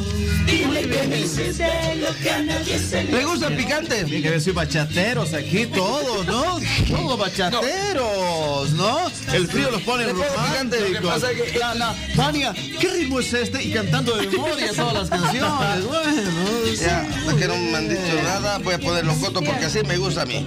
¿Qué tiempo saqué? Ya estamos. ¿Sí? ¿Qué tiempos aquellos? Dice, ah, pensando, pensando en voz alta, Salsita. Vania, ¿no? ¿Qué tiempos aquellos? Salsita, excelente. Como la música te transporta, ¿no? Ese es. ¿Y te acuerdas de esas cosas? Sí. Nos van a poner a llorar ahorita. Ay, ay, ay, Es un tema de los diablitos, ¿eh? Bien. Listo, gato chef. Ya. Listo. Aquí en la ensalada nomás me- la- nos perdimos el hilo. Cebolla, tomate, quirquiña. Locoto porque a mí me gusta con locoto, Locoto, es opcional eso. ¿Y qué vamos a hacer? Vamos a ponerle la paltita. No se van a tacañar con la palta, por favor. Aquí. No sean mezquinos en la palta. Claro, no se que mezquina. ¿Dónde está mi pinza? Aquí está. Nueve, ocho. 8, 7, Se termina el 6, 5, tiempo. 4, 3, 2, 1. ¡Tiempo! Señoras y señores, que nuestro desayuno ha sido preparado en tan solo 5 minutos. Me encanta el sándwich de palta con un matecito. Claro, muy bien. Así de sencillo. Chicos, un- una pausita nomás. Quiero mandar un saludo de cumpleaños que me pidieron, por favor, a Alain Natán Aguilar, que está de cumpleaños. Hoy cumple siete añitos. Y tus queridos papitos, Antonio, justamente, el, el chofer de, de la red Bolivisión, te manda eh, muchos Antonito. saludos. Te aman tus papás, pide el regalo que quiere. Es el saludito. Alain Natán Aguilar, siete añitos. Happy birthday to you. Saludos a bien querido, lo nos cuando era, chiquito, ahora está más grande. Quiero mandar saludos a mis sobris, Emily y Kendall. Bien. Un saludo para ustedes, eh, Emily Zúñiga, Kendall Zúñiga. Saludos para ustedes, gracias por ver el programa y seguirnos todos los días Bien, en la cocina del día. También, También. quiero mandar un saludo a la mamá de un amigo, la señora García, que ayer estuvo de cumpleaños, Ya. así que un beso también para ella. Amigo. Ya. Amigo. Sí, un amigo. Sí, señor. Bueno, eh, Para Nelson, un saludo. ¿qué tienes luego, gato chef? Más adelante, en la cocina del día, hoy nuestro máster repor- repostero, lo que vamos a hacer es un flan de café para diabéticos, aquellos que no pueden consumir bien. mucho el azúcar porque les hace mal. Hoy te voy a enseñar un postre súper fácil, pero vas a ver que tiene más sabor inclusive que hacerlo con el mismo azúcar. Bien, bien. Entonces, más adelante nos vemos en la cocina me toca a mí el flancito, ¿está bien? Está bien, pues señoras y señores, de esta manera podemos decir que nuestro desayuno ha terminado y el sector también ha terminado de la cocina del día. En tan solo 5 minutos. Que entró a mi vida. Pero Esto fue el desayuno en 5 minutos. Bueno, Vamos Vamos a seguir con más información, Richard, a propósito de eh, las movilizaciones ayer del Alto. Se aprovechó estas movilizaciones, estos, eh, este panorama en esta ciudad para poder destruir un sector, un ornato público que había sido protegido. Correctamente para sobrepasar el mismo y llegar a una pasarela, para poder cortar camino. Bueno, situaciones que se han presentado en medio de todo este ambiente de paro que propuso eh, la OPEA y otras autoridades. Se el alto. Víctor Hugo, para ampliarnos, por favor. En una medida de ordenamiento eh, ciudadano, peatonal y hasta vehicular, se ha tomado la determinación de cerrar prácticamente la jardinera central acá en la avenida 6 de marzo y calle 2 en la ciudad del Alto.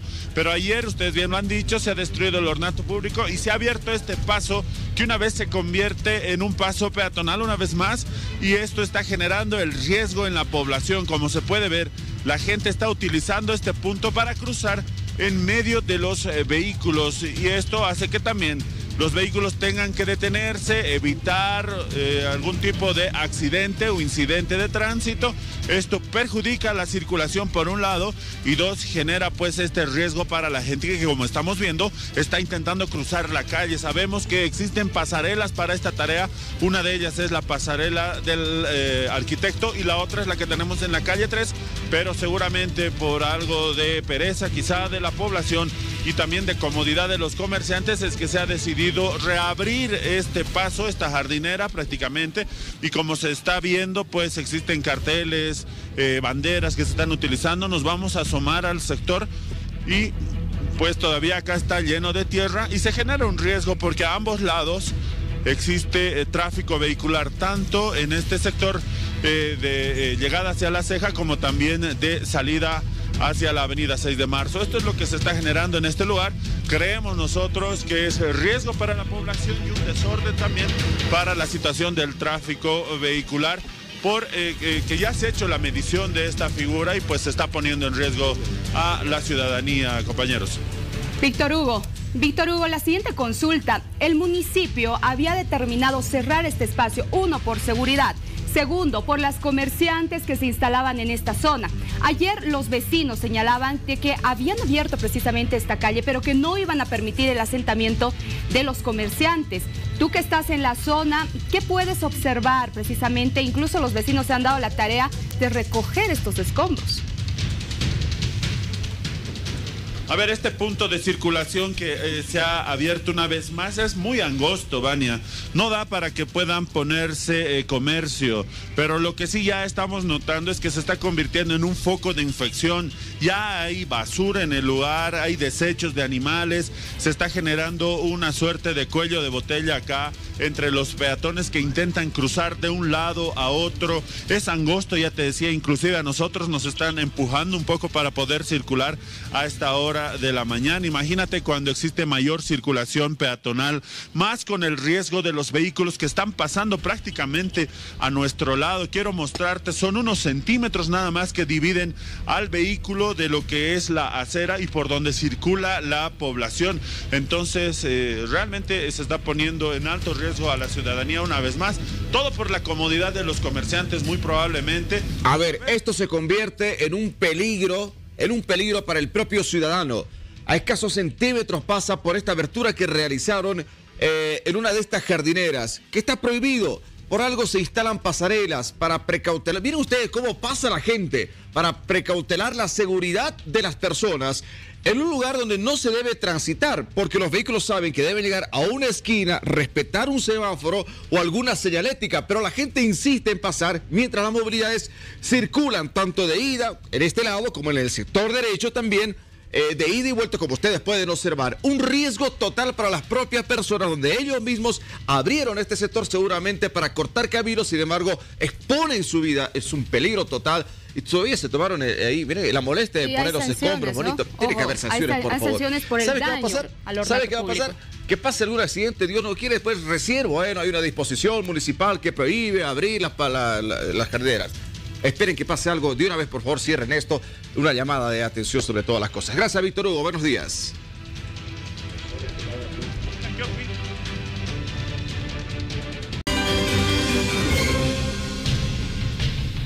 Más protestas en el Alto desde la Central Obrera Regional contigo, Víctor Hugo Rojas.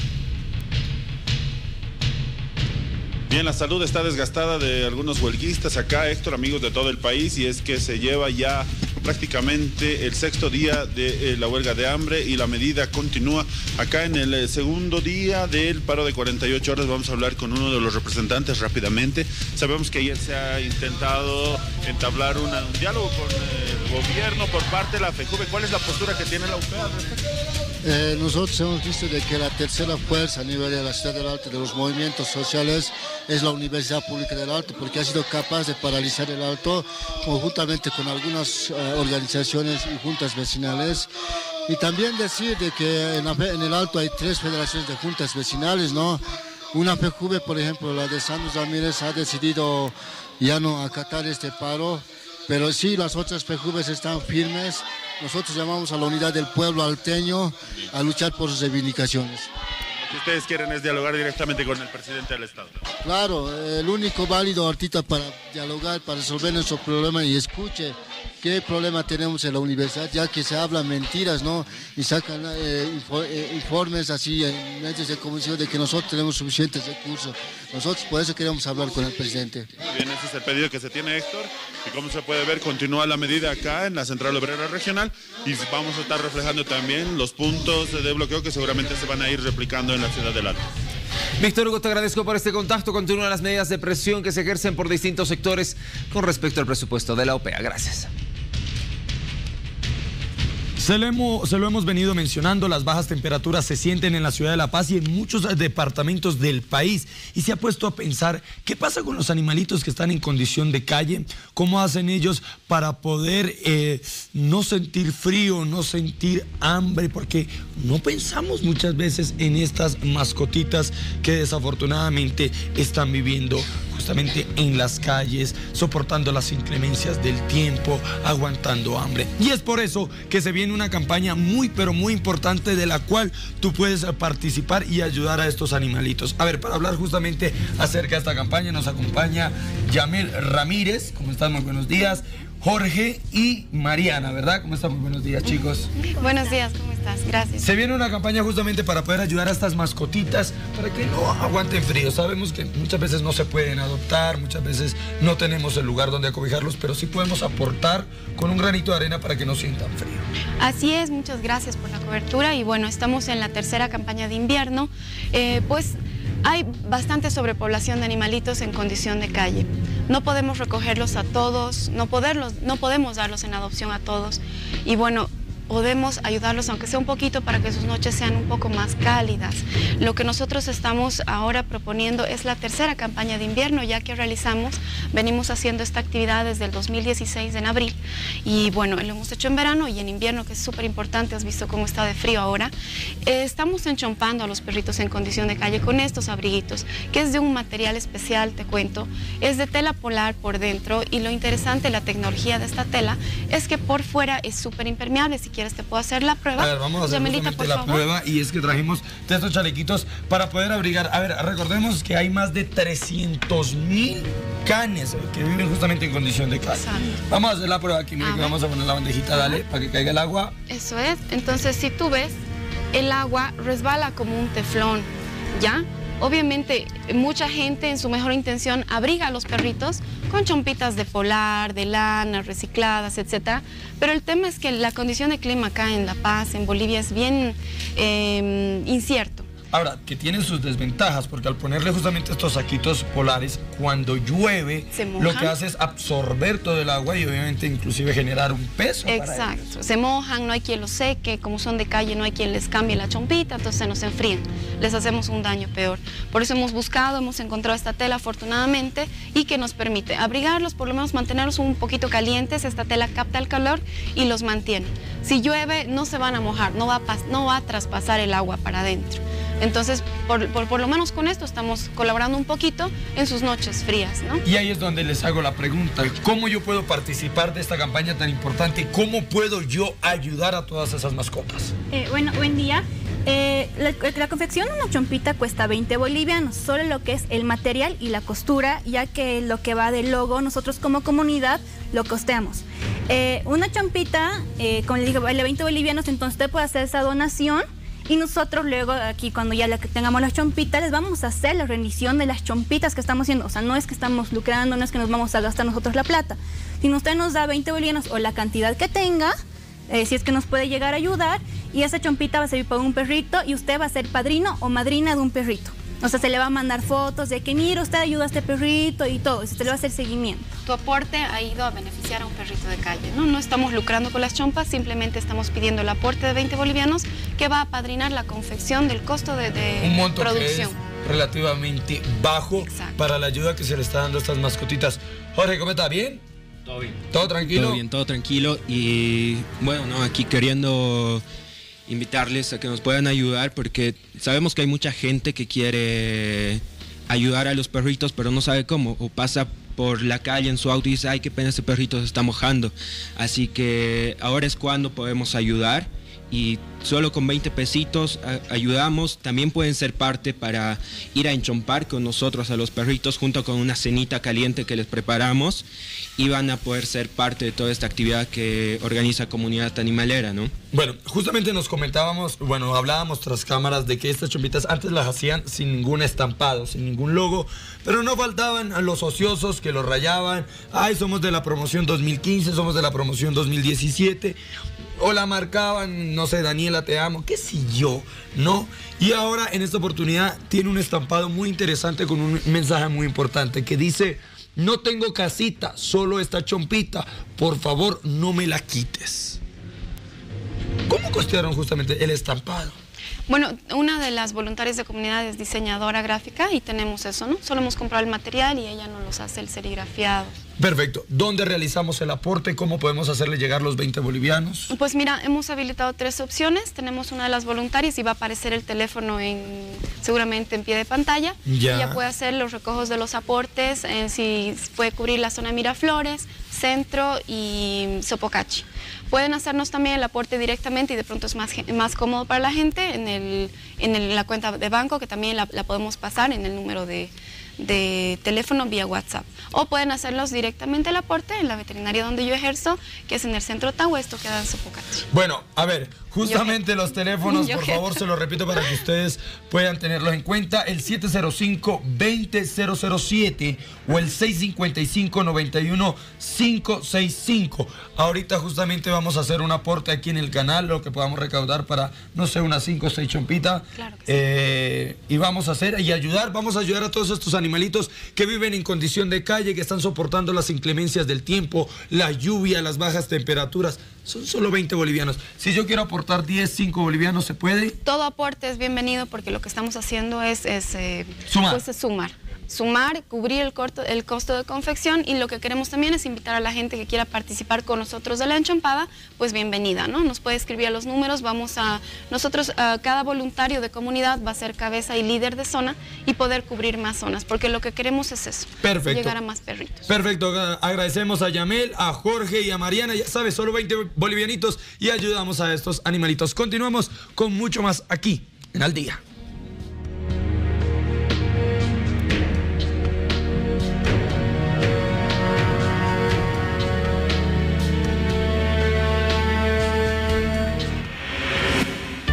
Y hablando de bajas temperaturas, pues tenemos que hablar con los máximos representantes del Senami. ¿Qué nos espera para el transcurso de los próximos días?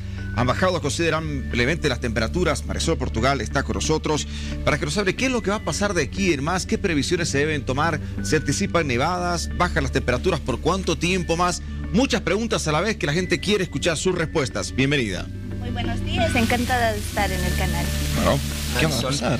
¿Qué va a pasar? Hemos sentido un cambio brusco. Totalmente. Sí, de sábado a domingo, terrible. Bueno, ya habíamos eh, sacado avisos de alerta al tsunami con anterioridad para este periodo de eh, el ingreso de un frente frío, el cual ha ocasionado que desciendan las temperaturas eh, bruscamente. Hemos registrado precipitaciones y bueno, nevadas en el Bien. Sector de la cordillera. Deme un segundito, Marisol, por favor. Ahora sí, seguiremos ampliando para que se le escuche más claro. Me decía, por favor, siga. Eh, sí, el CENAMI ha emitido avisos de alerta, los cuales eh, se han realizado con anterioridad para el ingreso de un frente frío, el cual se ha, ha ingresado el día jueves. Y bueno, hemos registrado eh, bruscos eh, descensos de temperatura, precipitaciones e incluso nevadas en el sector de la cordillera. Y bueno, estas condiciones van a continuar por lo menos esta semana. En el sector del occidente vamos a estar con temperaturas que si bien eh, tenemos una leve mejoría entre el día de hoy y mañana, nuevamente tenemos el ingreso de un frente frío el día jueves, va a ocasionar que desciendan las temperaturas en el oriente, si, eh, estamos en un leve ascenso en este sector, pero ya para el jueves nuevamente descensos, eh, tenemos eh, una brisa fría debido a la nevada que se ha registrado, eh, por tanto las temperaturas tendrán muy poco cambio en esta semana para el occidente. Es decir, que estaremos aproximadamente unas dos semanas, este y la siguiente, con estos cambios bruscos, con descenso de temperaturas, con frentes fríos ingresando al territorio.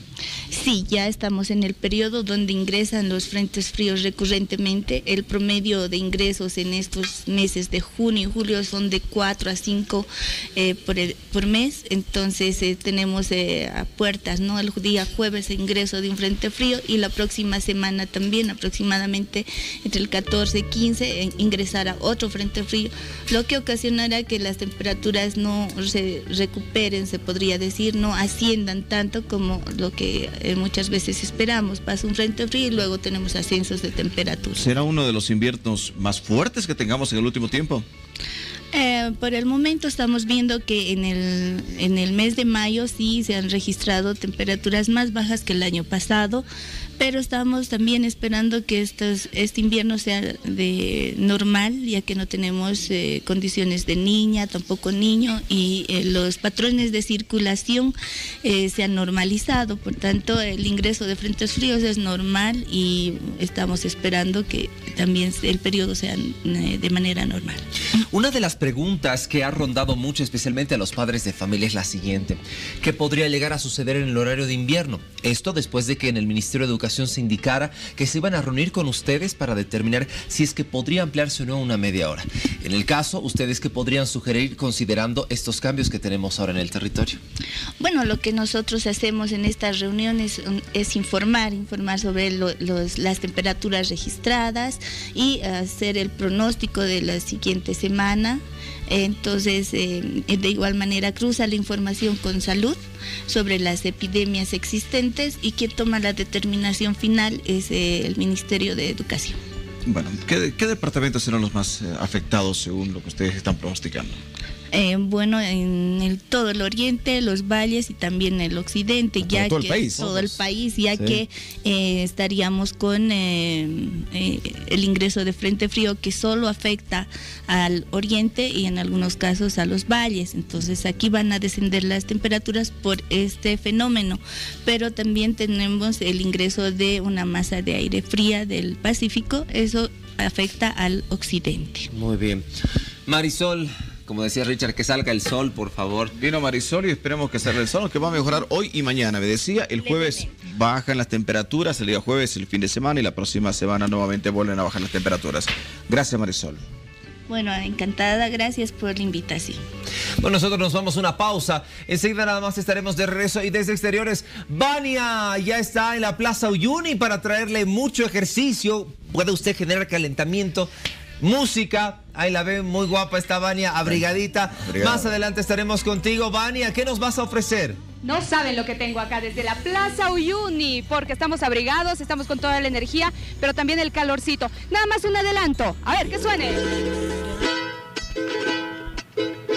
Eso y mucho más se viene más adelante, luego de la pausa, desde la Plaza Uyuni. 8 con 2 minutos, pausa. Ya volvemos en breve.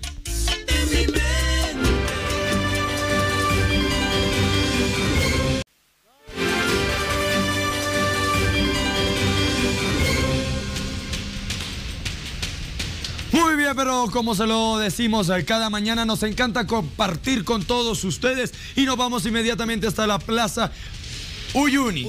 ¿Quién está ahí? Esto queda en la zona de Miraflores, allá está nuestra compañera amiga Vania. Sí, señor. Hola, ¿cómo estás? Bien, muy abrigada. Miren, me Seguro. puse guantes, me puse un saco bastante abrigado, así que ya estamos listos y preparados desde ese sector.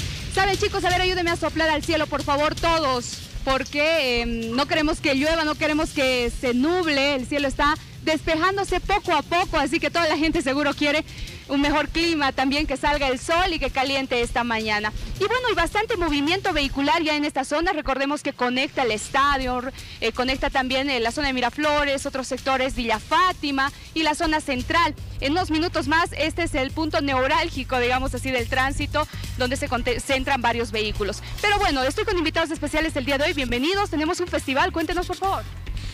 Bueno, tenemos un festival, el octavo Festival Internacional Bolivia en su charango, organizado por la Fundación Cultural Charango Boliviano.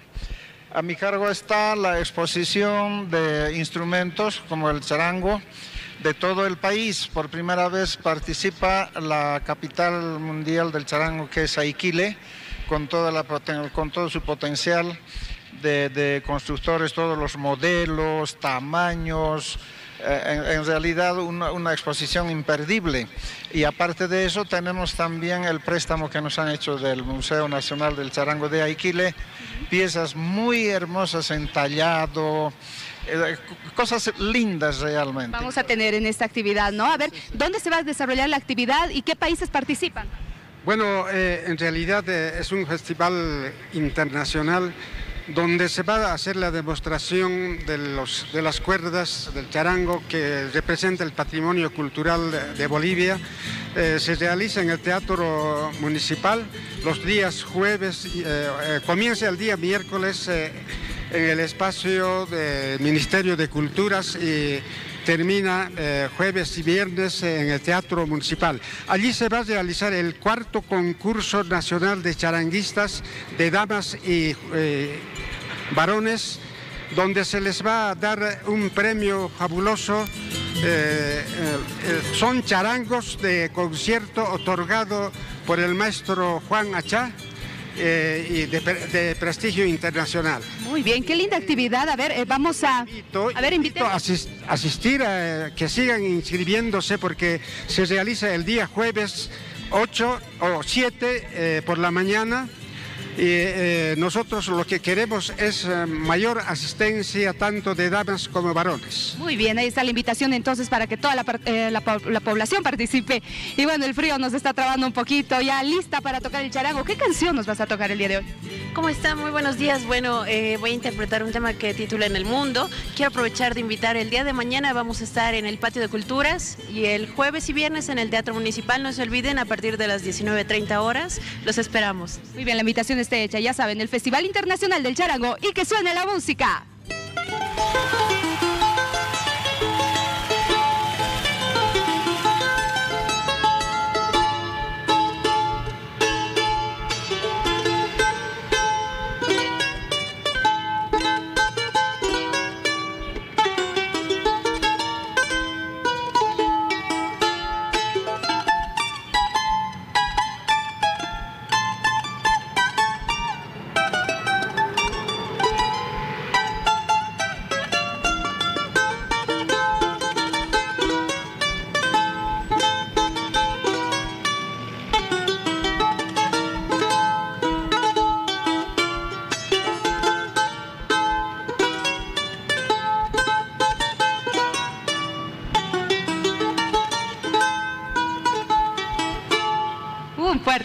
Aplauso, qué lindo toca nuestra querida entrevistada también el día de hoy. Y ya lo saben, la invitación está hecha. Compañeros, ¿qué les parece? Nos vamos entonces a disfrutar del Festival Internacional del Charango. Uno de los instrumentos más queridos que tenemos más representativos en nuestro país. Gracias, Mani, a todos nuestros invitados. Entonces, todos a disfrutar este gran, pero gran festival. Invitación abierta para todos. Ya saben, pero ojo porque más adelante tenemos más sorpresas con Bania, justamente desde la Plaza Illimani. No se lo pierdan, hay mucho Plaza- más. Plaza Uyuni. Plaza Uyuni, Plaza Uyuni, Uyuni, perdón. sí. Plaza de, de la Uyuni. calle Illimani, Uyuni. unas cuadras más arriba. Ahí, la Plaza Uyuni. Uyuni, Exacto. Ahí nos vamos todos. Sí, señor. Señoras y señores, continuamos con más aquí, en Al Día. Tenemos brigada. Misión Solidaridad. Brigada al día. Uno de nuestros equipos periodísticos salió a las calles en compañía del GACIP. Hemos contado una realidad muy dura por la que atraviesan las personas de la tercera edad. Fue muy difícil en su momento tratarlos de rescatar de las calles para cobijarlos en, las instalaciones de esta unidad policial, porque claro, muchos están acostumbrados a estar ahí, en medio de una avenida, en medio de una acera. Hoy queremos contarles un poco las historias que a nosotros nos llaman la atención. Y después de esto estaremos conversando con el mayor Víctor Hugo Pazzi del GACIP y claro, también nos acompaña ahora el general Faustino Mendoza, comandante general de la Policía Boliviana. Hay mucho por hablar dentro de las brigadas.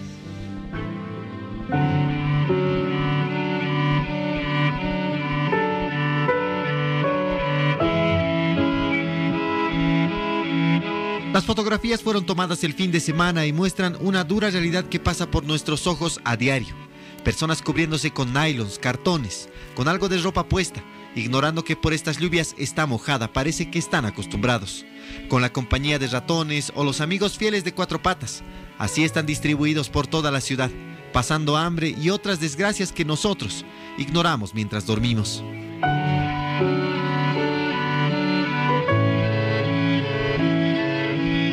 Algunos tienen miedo si los quieren ayudar, como esta adulta mayor, interceptada por el grupo de apoyo civil a la policía. Vea el curioso momento que pasó el comandante de la unidad, cuando esta señora no quería ser rescatada del frío. No, ¿qué no vas a hacer? ¿Qué vas a llevar? ¿Dónde- ¿A dónde me quieres llevar? A mi unidad. ¿Qué? A mi unidad.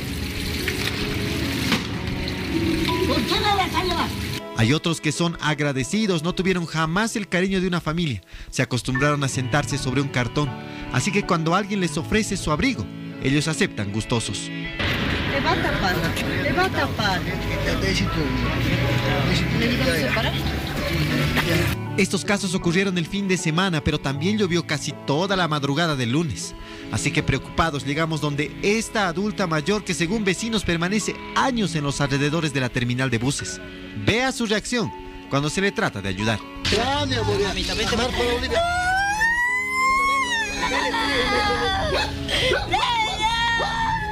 Eso es. Ya, ya, ya.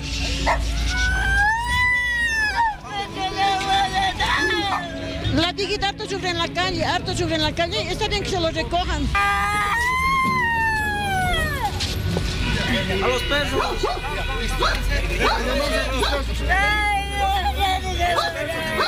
Y sopita todo me van a quitar, dice, me, van a- me lo van a botar. Y seguro alguno dirá, si no quiere no la obliguen. Sin embargo, cuando estas personas amanecen muertas de frío, nos lamentamos porque no hicimos algo para evitarlo. Esa señora está, está mojada y le, van a dar- le puede dar una hipotermia. Lógicamente la vida, insisto, es nuestro principal objetivo. Poder atrapar a los perritos fue una tarea muy difícil. Se pudo con uno de ellos, pero el otro se quedó ahí. Irán a la unidad policial del GACIP. Qué lamentable es esta situación y como expectantes directos no podemos ser indiferentes. Gracias a Dios tenemos comida a diario, un techo y una cama caliente. Y en la noche no hay a quien quejarse. Por abandono, por vicios, por problemas económicos y más razones estas personas están ahí. No juzguemos, seamos parte de una sociedad donde nos apoyemos entre todos y si usted es familiar de alguna de estas personas que le hemos mostrado, reflexione. Algún día podríamos estar en esta situación. Fuerte, ¿verdad? Qué duro.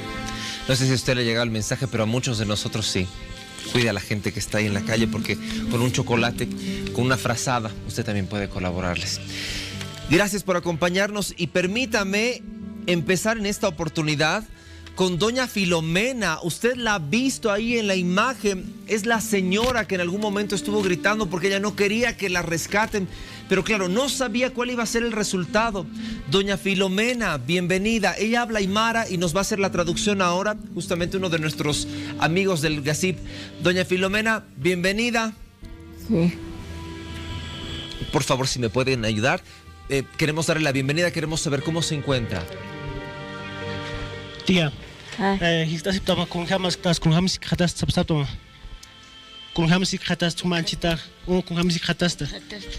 eh, estás toma con jamas tas con jamas khatas sabsa toma. Con jamas khatas tu manchita, o con jamas khatas ta. ¿Cuál quitate? ¿Cuál quitate? Está bien, dice. ¿Cómo se siente con todo el cambio que han hecho en ella? ¿Le han dado no- ropa nueva? Huma con jamas khatas anchita masur ka unidad gasinha, istapayatama desayun mak baktatama suma. No puedes si katas. Que si te basta. Tibura preto. Desayun maktaptan. Tesanito basta preto. Ukambe wala kihta. Wala kih. Ya ves, kwa kwa tayan ang kanikis kaya ta kwa ni kumara tayha tamay. Ne. Ni wala kan ve. Icha wala kihta. Wala kih. Todo está bien. Estoy agradeciendo. Le hablaba sobre eh, cómo se sentía en el GASIP, creo que le han dado ahora un desayuno y le han dado varias cosas. Bienvenida, de verdad, doña Filomena, me alegra verla así, radiante y guapa. Em, esta campaña, Mayor Patsy, que nosotros hemos tenido, que hemos empezado, nos ha llamado la atención porque es desesperante y crítica la situación por la que están atravesando personas de la tercera edad. Se cubren con un cartón, se cubren con un plástico o con papel periódico. Muy buenos días a todos. Eh, Bienvenido. bueno, pues de alguna forma, como hemos podido ver en las imágenes, es- ella el día de ayer está completamente mojada. El día domingo eh, llegó un mensaje por Facebook, se ha hecho viral. Inmediatamente di eh, parte a mi comandante general, a mi general Mendoza, de esta situación donde la señora estaba atravesando. El día de ayer lo hemos rescatado y bueno, pues eh, fuera de que se ha puesto un poco agresiva, arisca, y la entendemos porque es su hábitat también, pero está completamente mojada. Mis voluntarias la han cambiado todo y, bueno, con el frío tan intenso que está haciendo estos días, eh, iba a subir una hipotermia y cómo no hacer nada eh, en cuanto a lo que es como policías. Mi general siempre dice el policía del pueblo para el pueblo. Nosotros tenemos que hacer una acción para estas personas. Es una dama, es una persona de tercera edad. Y miren ahora, ya está brigadita, a, a- a- a- ha almorzado, ha cenado, esta mañana su desayunito. Está totalmente mejor. Para continuar con esto. Completamente tengo la instrucción, insisto, de mi comandante general, que hay que precautelar ante toda la vida y qué mejor de esas personas que están en las calles y bueno, pues estamos tratando de dar cobijo, a lo cual pido tal- de alguna forma a la gente que se pueda hacer solidaria, pueda venir a la unidad para entregarnos frazaditas, porque no tenemos muchas frazadas.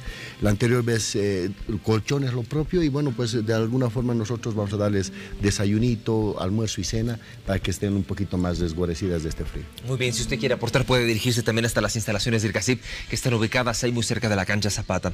El general Alfonso Mendoza, comandante general de la Policía Boliviana, le agradezco mucho por acompañarnos, hablando de una campaña que a nosotros nos ha tocado mucho el corazón, el de nuestra pequeña Isabelita y Shirley con su mamá. Inicio con usted, general, ¿cómo está? Bienvenido. Bueno, buenos días. Es importante un poquito llegar pues a las fibras íntimas de todas aquellas personas de buena voluntad que definitivamente colaboran. Es un cambio de mentalidad ya con la señora, por ejemplo, es importante tal vez algunas personas que puedan dar datos de sus familiares, porque ella prácticamente está viviendo en el abandono. Sin embargo, el problema de Isabelita, que tiene un problema en el pie, definitivamente recurro a todos aquellos médicos de buen corazón, eh, médicos, pediatras, eh, traumatólogos que puedan darle una manito. Hemos estado trabajando en esto ya desde ya lo que ha significado la parte de la entrada folclórica del Gran Poder. Los chicos han estado en los diferentes centros de mercado, lugares de venta, con sus chanchitos un poquito solidarizándose acá con la con señora madre que está pasando un momento difícil. Definitivamente es importante también recomendar en todo, no solo acá, sino en todo el país, de que los gobiernos municipales deben asumir su responsabilidad. Tenemos que crear albergues, sobre todo para de acogida para personas como la señora que definitivamente no tienen dónde vivir. Entonces es importante aquello porque eso prueba la norma. Definitivamente los gobiernos depart- municipales deben asumir esa responsabilidad porque eh, el GASIP es un acto de solidaridad que la tenemos a la señora. Sin embargo, de repente vamos a tener que ver dónde vamos a poder llevarla a la señora, toda vez de que ella ha sufrido un verdadero cambio, porque prácticamente se ha aislado del mundo, se ha aislado de la realidad, se sentía desprotegida, se sentía sola, solo acompañada de sus dos eh, mascotitas, y eso no es normal. Definitivamente nosotros estamos trabajando y estamos trabajando en todos los departamentos, es importante la coordinación. General, en el caso de Isabelita, hay muy buenos resultados porque todos estos chanchitos que ustedes están viendo en este momento están realmente pesados. Y muchas gracias a la gente que nos ha colaborado. Ah, mire, aquí está. General, son 18 chanchitos. 18 chanchitos que definitivamente van a servir. Hemos aportado nosotros como policía, pero acá yo también voy a hacer otro aporte extra, aparte de lo que hemos hecho. Acá vamos a aportar para la Eso es. Que sirven. Es importante, entonces, importante llegar eh, a las fibras íntimas de la población. Definitivamente somos un, un pueblo unido, un pueblo solidario. Definitivamente darle toda la fuerza a su señora madre. Usted no pierda la fe. Yo sé que eh, va a tener mucha acogida, usted va a tener toda la ayuda que necesite. Definitivamente la vamos a ver acá en meses más corriendo y disfrutando de la vida acá nuestra querida mm, Isabelita. Shirley, bienvenida. Noto mucha emoción en sus ojos. Muy agradecida por todo el desempeño que han desarrollado los Gasip Junior. La cargaban para recorrer las calles, no se cansaban, seguían caminando. Me, muy agradecida de corazón por todo el apoyo del, general Mendoza, Mayor Pazzi por su disponibilidad de tiempo, por todos los, los chicos que han caminado tanto y realmente muy agradecida a la, yo veía sus- su desprendimiento, lo que le cargaban, el cariño que le tenían a la pequeña. Realmente muy, muy agradecida de corazón por todo el apoyo, incluso la gente que nos aportaba con los chanchitos. Estoy muy agradecida de corazón. ¿Cuánto necesitamos? 15 mil dólares. 15 mil dólares. En el caso de que usted quiera aportar, todavía puede hacerlo comunicándose al teléfono que aparece en este momento, acá en generador de caracteres, el 814-0214. Llamando usted este número si desea realizar algún aporte económico para la pequeña Isabelita, porque no solamente son los 15 mil dólares para cirugía como tal, necesita algo que venga antes, durante y después. De verdad, muchísimas gracias a la policía. La gente que está aquí atrás, a mis queridos amigos del Gasip Junior, del Gasip, ahí los eh, suboficiales, tenientes, de verdad gracias a cada uno de los voluntarios, porque los han visto correteando, tratando de alcanzar a alguno de los perritos, pues eran ellos que estaban intentando que esa familia de mascotas y la señora no se pueda dividir. Ahí tienen algunos de los dibujos que me imagino los ha hecho Isabelita. Gracias, de verdad, gracias. A ver, tenemos ahí unos que dice gracias, Mayor Patsy, General Mendoza. Gracias al día de Isabelita. Y estamos, creo, cada uno de los, de los presentadores. También lo ven ahí al, al General Mendoza, al Mayor Patsy, a Paola Calizaya, Paola Rivas, a gente que de pronto se ha acercado y le ha dado un aporte a nuestra pequeña Isabelita. Y estamos seguros que ella va a estar corriendo, va a jugar. No tienen idea la viveza que tiene esta niña. Es increíble. Muchísimas gracias al general Alfonso Mendoza, comandante general de la Policía Boliviana, al mayor Víctor Hugo Pazzi del GASIP y también a la señora Shirley, también a Isabelita y a gente que nos acompaña, nuestros queridos amigos voluntarios.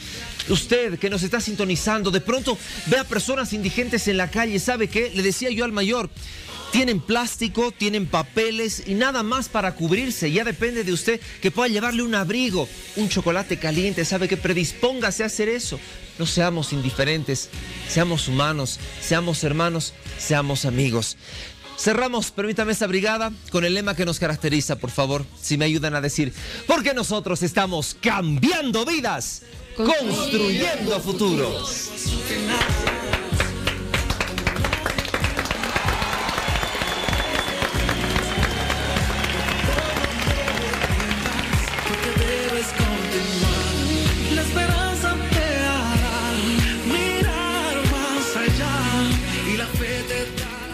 Solidaridad. Brigada al día. Muy bien, pero inmediatamente nos vamos hasta la ciudad del Alto. Víctor Hugo Rojas comienzan las movilizaciones por parte de la UPEA. Ya hay bloqueos. Bien, sí, esta es la parte del multifuncional, el acceso a las Naciones Unidas, donde se han concentrado los universitarios y ya están iniciando los distintos eh, puntos de bloqueo. Edison, amigos de todo el país, y es que esta figura también se está replicando en puntos como es la Cruz Papal, lo propio se está viviendo también en la calle 9 y avenida 6 de marzo, en puertas de la Central Obrera Revolucionaria, también entre las calles 2 y 3, es que se ha cerrado también la vía en ambos carriles, y como estamos pudiendo observar, este es un punto estratégico siendo que este sector conduce eh, por un lado hacia el sector de lo que es la feria 16 de julio, la bajada en la carretera antigua hacia la ciudad de La Paz, lo propio acá es la vía de los brujos y también el acceso a la parte de la ceja del alto. Este punto está cerrando prácticamente siete eh, vías, las cuales está perjudicando a la población y como podemos ver, ellos están eh, teniendo que caminar el mismo puente que va desde este sector del multifuncional hacia lo que es la feria 16 de julio, los teleféricos rojo y azul está cerrada por parte de los universitarios. Esta figura se está replicando en distintos puntos que estaremos informando, Edison. Perfecto, Víctor Hugo, cuando son las 8 con 30 minutos de la mañana, este es el panorama que se vive en la ciudad del Alto, son diferentes puntos bloqueados. Gatito, más adelante, ¿qué vamos a preparar? Pues señoras, señores, más adelante en nuestra cocina del día, en nuestro mate repostero dedicado a los diabéticos, vamos a hacer ese postre. Ver la belleza que vamos a aprender a hacer. Eh, es un flan de café, ¿ya? Para diabéticos. O sea que van a ver que si tú eres diabético, igual podrías disfrutar de estos deliciosos postres. Y sin el azúcar. Así que no te muevas en la cocina del día. Vamos a un corte comercial y ya vuelve a la cocina del día con Gato Chef.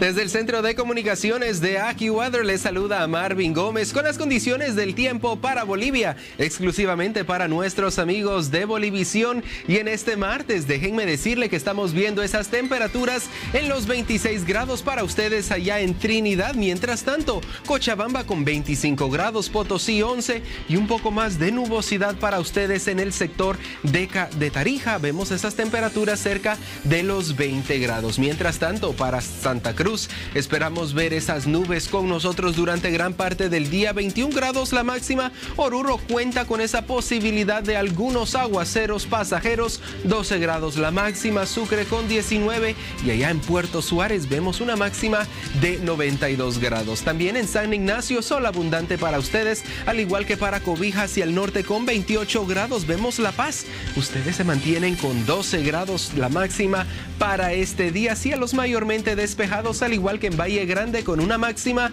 de 21 grados. Aquí está el pronóstico detallado para Santa Cruz. Vemos esa nubosidad durante el día y también en horas de la noche, temperaturas descendiendo a los 12 grados. Mientras tanto, en Cochabamba vemos esa mínima en la noche cerca de los 5 grados. Esa posibilidad de precipitaciones es únicamente de un 25%. En el pronóstico extendido para La Paz vemos esas temperaturas máximas se mantienen en los 12 grados durante los próximos días. No sería hasta el día jueves donde contamos con esa posibilidad de ver cielos nublados y una tormenta pasajera.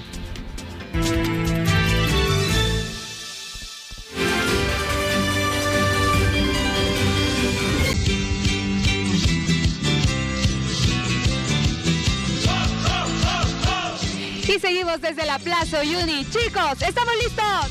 ¡Sí! Porque lo mejor está en... Ay, con esa energía empezamos Zumba con clase, con folclore. Cuéntame, por favor, eh, a ver eh, qué actividades vamos a estar desarrollando, cómo la gente puede desestresarse además haciendo Zumba. Bueno, claro que sí. En realidad este programa de Folklore Fitness eh, lo que desarrollamos es la fusión de los ejercicios con las danzas bolivianas y mundiales. Bueno, ahí está entonces para que toda la gente pueda hacer, personas de la tercera edad, niños, jóvenes, todos. Claro que sí, es totalmente integral, pueden hacerlo de todas las edades y nosotros los invitamos para que puedan realizar la actividad de Folklore Fitness y hacer un poco de ejercicio, bajar esas calorías por medio de nuestras danzas bolivianas. Muy bien, que suene la música entonces porque Folklore Fitness, Tinku y a esta hora de la mañana.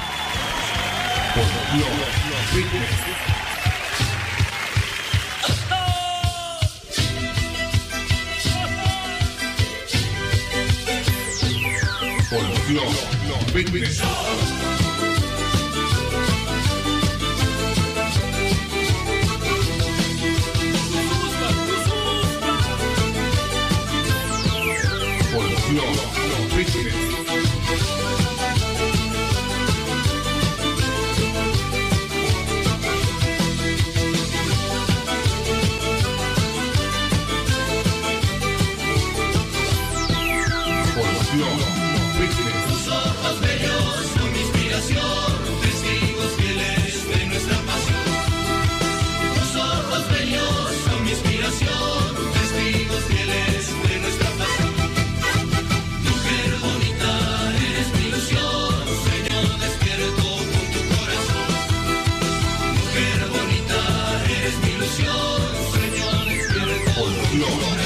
Norte Potosí, amo la tierra donde yo nací.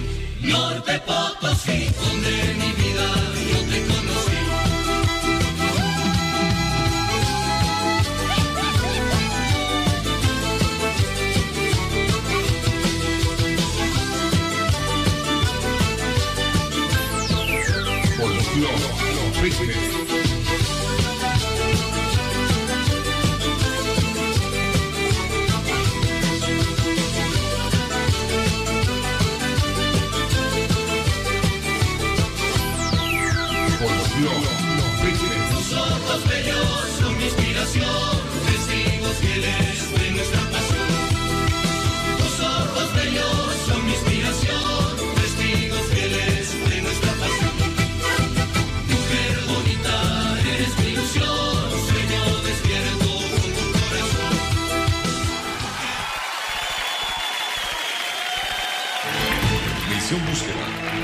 Mascotas desaparecidas.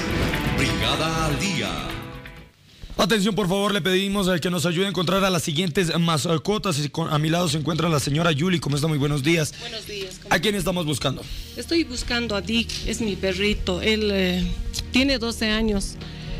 Eh, salió de casa por un descuido y no regresó más. Él es un perrito muy sociable, cariñoso con los niños, no está acostumbrado a estar en la calle. Estoy segura que él ha de buscar refugio en cualquier lugar. Por favor, a la persona que lo haya encontrado a Dick o en su puerta o en algún lugar, por favor, protéjanmelo y, y Le pedimos, por favor, usted tiene justamente los eh, teléfonos en pie de pantalla. Usted puede comunicarse al 223-1192, al 795-49-832 y al 278-3100. Por favor, le pedimos no jugar con los sentimientos de la persona. Pero tenemos más mascotas desaparecidas. Y el señor Franklin, ¿a quién estamos buscando? Muy ¿Cómo buenos están? Muy días. buenos días. Eh, quería pedirle, por favor, señores televidentes, que me ayuden a buscar a Balutelli. Balutelli se perdió el día miércoles, eh, a horas eh, 8 y 45 aproximadamente, donde se mira que por la casa sale y ya no regresa más. Tal vez lo han visto, por favor, ayúdenme. Estos son los números telefónicos, Usted tiene los 189. teléfonos justamente en pie de pantalla, comuníquese al 789-00079 o al 789-0072. Le pedimos por favor no jugar con los sentimientos de las personas. El sector de la cocina es auspiciado por. Disfruta este San Juan con todo y los 700 mil bolivianos que te regala el trío de salsas Cris.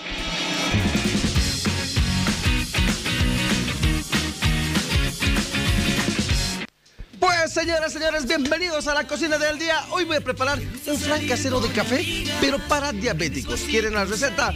Pues vamos, señoras, señores, porque los elementos que necesitamos para hacer este flan de café aromático son los siguientes. Cuatro yemas, ocho claras, dos tazas de leche descremada, media taza de almidón de maíz, una taza de café caliente, endulzante para diabéticos, una cuchara de esencia de vainilla, frutas para decorar. Eso es todo, señoras y señores. Mi querido gato, y antes de empezar con la receta, quiero agradecer justamente esto que nos han enviado. Muchísimas gracias al um, gobierno autónomo municipal de Potosí. Mire, porque ellos tienen una feria de chambergos, sopaipillas, tahuatahuas, canelones y rombos que se inauguró el 30 de mayo en la calle Bolívar y Camacho. Eso por el tema de Corpus Christi. Mire todo lo que nos han enviado. Ahí están las sopaipillas. Aquí abajo están las tahuatahuas. Dios mío, qué rico. Gracias al alcalde constitucional de este gobierno autónomo municipal. Muchísimas gracias. Gracias, Potosí. Muchas gracias. Bueno, pues señores, señores, vamos con la preparación súper sencilla, ¿ya? Lo primero que vamos a hacer, las claras y, la- y los huevos enteros, ¿no? Serían ocho claras, cuatro yemas. Excelente. Comenzamos a batir. Comenzamos a batir, a batir. Gato, a batir. Dime. ¿Sabes hacer esos paraguayos? Sí, claro que sí. A ver si haces. Ay, la meta. Ahí está, ¿no? Luego de batir, un chorrito de esencia de vainilla. Y seguimos batiendo, ¿saben con qué más? Con la leche. Ay, Ay, ay, ay. Venga, que se puede, está la leche. No se me ponga nervioso. por Ay, tú favor. ya te has puesto nervioso, no me vas a ver. Ya te conozco. Te conozco, mosquito. Comenzamos a batir. La idea es que se disuelva bien el huevito porque eso va a depender mucho de la calidad que tengamos en el flan. Ya, integramos todo. Luego de eso, edulcorante. En vez de azúcar le vamos a poner edulcorante. ¿Ya? A gusto el ed- edulcorante, eso depende del dulzor que tú quieras tener, ¿no? Ahí estamos. Los diabéticos no pueden consumir azúcar porque ya hay una insuficiencia de insulina en la sangre, ¿no? Y también le vamos a poner café caliente. Siempre cuidado moviendo rapidito, porque si no haces esto, va a coagular el, el huevo y la Me no encanta es tu esa. cafetera. Es la Es donde sale más rico el café de aquellas épocas. Excelente. Después de poner el café, ya. ¿Te Vamos a agregar. un café en la mañana, este plan y el cuchumé? Vamos a agregar almidón de maíz. Eso acá. Así lo movemos bonito y vamos a mezclar bien. Tú dale, dale, tú. Vamos te gusta. Princesa, la dueña de la noche. Ay, gatito. Aquí estamos, aquí estoy con el comandante, pero pase pues mi comandante. Ahí vamos a aprender a hacer un. ¿Quiere aprender? Véngase por acá. Ahí hay. Ahí ¿Le hay un la cocina, comandante? Bueno, no soy muy hábil para la cocina, pero aquí con el gato vamos a aprender. ¿Qué, es lo que ¿Qué está sabe preparando? cocinar, comandante? Sé freír huevo. Tiene Ay, pendiente, tiene Muy bien, pendiente. y debe salir sabroso. Tiene pendiente conmigo Permítame, por una favor. parrillada que me estoy Sí, acordando. sí, sí. Esto vamos a llevar a cocer a baño María, ¿ya? A baño María a 180 grados centígrados por el lapso de unos 35 minutos aproximadamente. Ya, esto entra al horno. Ahí estamos, Eso. vamos al hornito. Ay, Aquí permítame. excelente, no, tranquilo que se puede todo. Al horno aproximadamente. Comandante, ¿usted sigue nuestro sector de la cocina? Claro que sí, estoy aquí seguidor de nuestro querido gatito. ¿Cuál es el, el- el espacio que más le gusta? Tal vez los viernes de parrilla. Sí, es esa parte, ¿no? La parte más. La- el parrillero, me debe un asado. rico y también lo que más daño hace. ¿eh? Lo más que de repente hace más daño. Uy, también, ¿no? Pero, ¿qué, le, qué le puedo decir? De repente hay que portarse mal de vez en cuando. Esto lo acomodaré bien así, no le daré la espalda a mi comandante. Aquí estamos. Hay que es portarse lo que mal de vez en cuando. Este es, este es el, el producto que va a salir del flan, ¿no? Ahora me, me decías tú, Héctor, cómo hacer esas galletas, porque no está en el menú. Sencillo, van a ver cómo se hacen las galletitas. Estas galletitas que ustedes ven acá, estas de acá. Esas. Ya, perfecto. A ver, esto es 30 segunditos. Un chorrito de aceite. ¿Eh? Le vamos a poner café, un poquitito y también un poquitito de harinita. Nada más. Eso te está, sí, harinita, harinita, así de sencillo. Eso está medio, medio aguanoso. Y esto acá, así, aguanosito, y esto acá va a entrar al Y sartén. así se hacen estas galletitas. Y esas galletitas tuil se llaman, ¿no? Quienes no sabían, no sabían, no sabían cómo hacer un tuil es fácil. Estas galletas, así. Esto sirve mucho para adornar la, nuestra gastronomía, ¿no? Ajá, es comandante. ¿Un tuil? ¿Puede probar esas galletitas? Galletitas. ¿Tan ricas? Sí, ay, gracias, gracias. Agradable. Bueno, de esta manera hemos terminado ya la cocina en realidad de al día. No se olviden que todo lo que es, eh, tenemos en la cocina pueden revisarlo en la página del Facebook. Entran la revista al día, le ponen me gusta y todo lo que hay en la cocina, paso a paso. Muy bien, general, gracias por acompañarnos acá en el sector de la cocina. Lo invito el viernes a que venga a nuestro karaoke. Voy a venir. Y le invito ¿Ya? el viernes a que venga Sí, a con viernes todo. parrillero. Vamos a estar acá compartiendo con gatito con ustedes. Para y distenderse un poco de la actividad que tiene. pues, dejar de lado un poco la actividad eh, cotidiana, rutinaria y poder participar y estar acá con ustedes. Gracias. A sus órdenes, jefe. Patrullero 777 de control. 8 con 48. Hay más en al día. Un Excale 90, ¿ya? El sector de la cocina fue auspiciado por. Disfruta este San Juan con todo y los 700 mil bolivianos que te regala el trío de salsas Cris.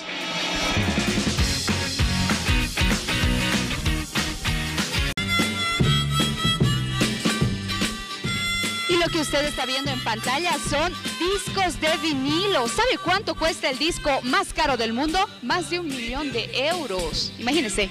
Y bueno, vamos a hablar y vamos a conocer detalles acerca de una interesante exposición que se va a realizar en nuestro país porque hay coleccionistas fanáticas, fanáticos de la colección precisamente de estos discos. ¿Cuántos discos tienes tú, Delina? Buenos días, bienvenida. Buenos días. Bueno, eh, la colección que se va eh, poner parte de, en exposición y también a la venta, estamos viendo más o menos alrededor de 7 mil discos. Tenemos uno que es eh, el de oro, por así decirlo, ¿no? Sí, bueno, tenemos un disco que está autografiado por Rick Astley. Eh, hace un año atrás tuvimos esta joya y tenemos discos que son de primera edición también y también no solamente que han sido editados en el país de origen, sino en Japón, inclusive aquí en Bolivia. Yuri, hagamos una invitación a toda la gente, tú también que coleccionas estas bellezas, estas reliquias, como nos decías hace un momento. Invitar a todas las personas que están en este momento observando los vinilos, están viendo una pequeña muestra de lo que vamos a tener el día sábado 9 de junio, desde las 9 de la mañana, acá en la avenida Saavedra, edificio Aztlán, en el tercer piso. Como ya dijo Delina, la gran mayoría de estos vinilos van a poder ser adquiridos por las personas que adoran y aman el vinil. ¿Cuántos, eh, aquí entre nos, cuántos tienes tú de colección? Ah, personalmente, unos 250. Nada más, 250. No, existen coleccionistas en el país que tienen por miles, ¿no? El vinilo es un gusto que está volviendo y es algo que no va a pasar jamás de moda. Miren, eh, ya para ir cerrando esta entrevista, miren, quiero mostrarles que Lady Gaga, estamos volviendo a toda esta moda retro, ¿no? Sí, de por sí el vinilo está volviendo y sabemos los coleccionistas que no se va a volver a ir. Entonces, esto es una nueva edición de Lady Gaga. Entonces, eh, es, un, es un vinilo que estamos seguros que a la primera me- media hora se va a ir. Reiteremos el lugar, la hora, por favor. Bueno, vamos a estar a partir de las 9 de la mañana aquí en la avenida Saavedra, entre el Estadio y la Plaza Uyuni, el edificio Astlan, en el tercer piso. Muy bien, la invitación ya está hecha. Entonces, a usted que es amante de estos discos de vinilo para recordar, y bueno, ahora eh, que también eh, los famosos están volviendo a esta moda. Este es el panorama que le mostramos desde la Plaza Uyuni. Compañeros, ¿qué tal? Nos vamos a ver esta exposición. Claro que sí, mi querida Vania. Excelente, gracias por este contacto desde la Plaza Uni. Qué diferente escuchar la música en vinil. Sí. Aparte tiene su mística, ¿no? ¿Eh? Además tiene esas mezclas. mística. Vos ya te estás comiendo el postrecito goloso. ¡Goloso! Pero yo tengo una mención muy importante que hacerte y unos consejos además, porque mm, cuando vas a comer choripán, ¿cómo lo pides? Pues con todo, con papa frita, chorizo, por supuesto, choclo, quesito, salsas. Así la gente le gusta con todo. Por eso este San Juan se viene con todo y con los 700 mil bolivianos que te regala el trío de salsas Cris. ¡Sí, con todo! Ya lo sabes, este año gánate los 700 mil bolivianos del trío de salsas Cris y disfrútalo con todo. Una actividad autorizada y fiscalizada por la Autoridad de Juegos AJ. ¿Quieres hacer un trío? El de salsas Cris es el mejor. Imagínate 700 mil en tu bolsillo. Por eso yo me voy a comprar hoy día mismo el trío de salsas Cris. Hagamos un trío con salsas Cris. Excelente. Eh, vamos a probar acá está el postre. Pero ya estabas probando. Ay, mentiroso. No has podido aguantar la Mentiroso. tentación. Rico está hoy. Sí, Deli está. A mí que me encanta el plan. ¿Quieren regalarme algo? Regálenme plan. Ahí vamos a ver, por si acaso, este postre también puede ser para personas no diabéticas.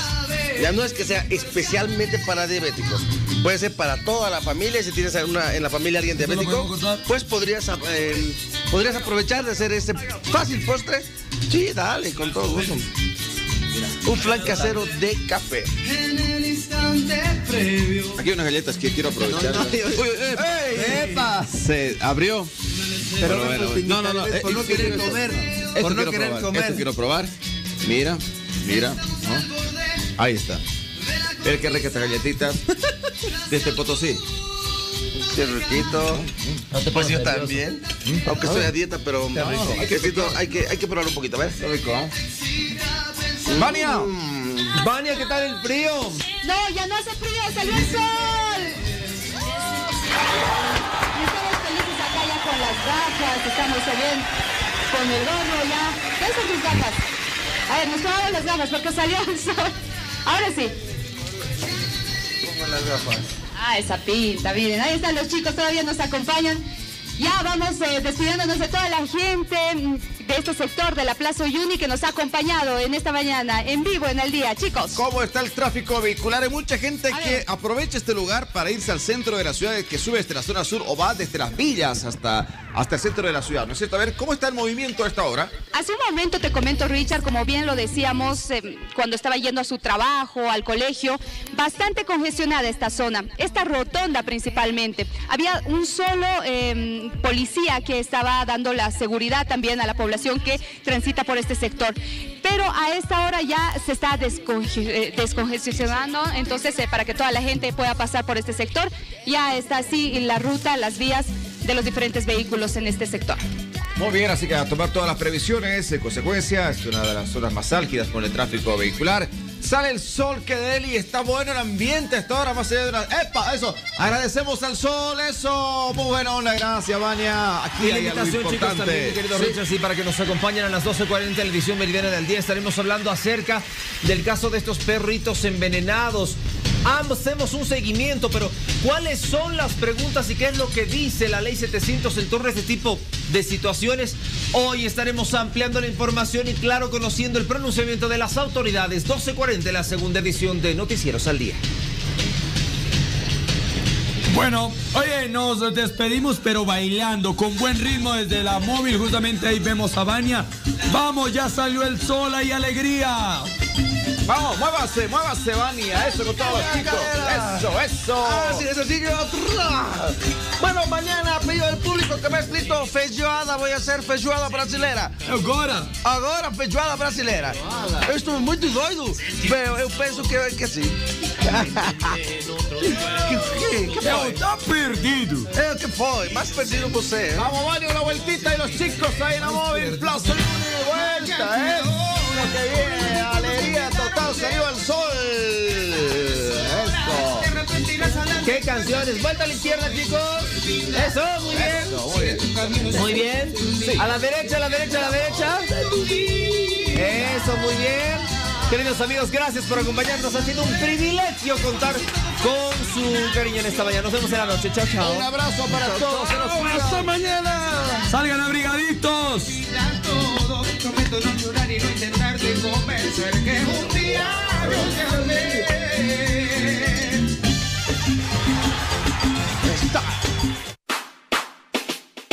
Es fría la noche te puedes quedar.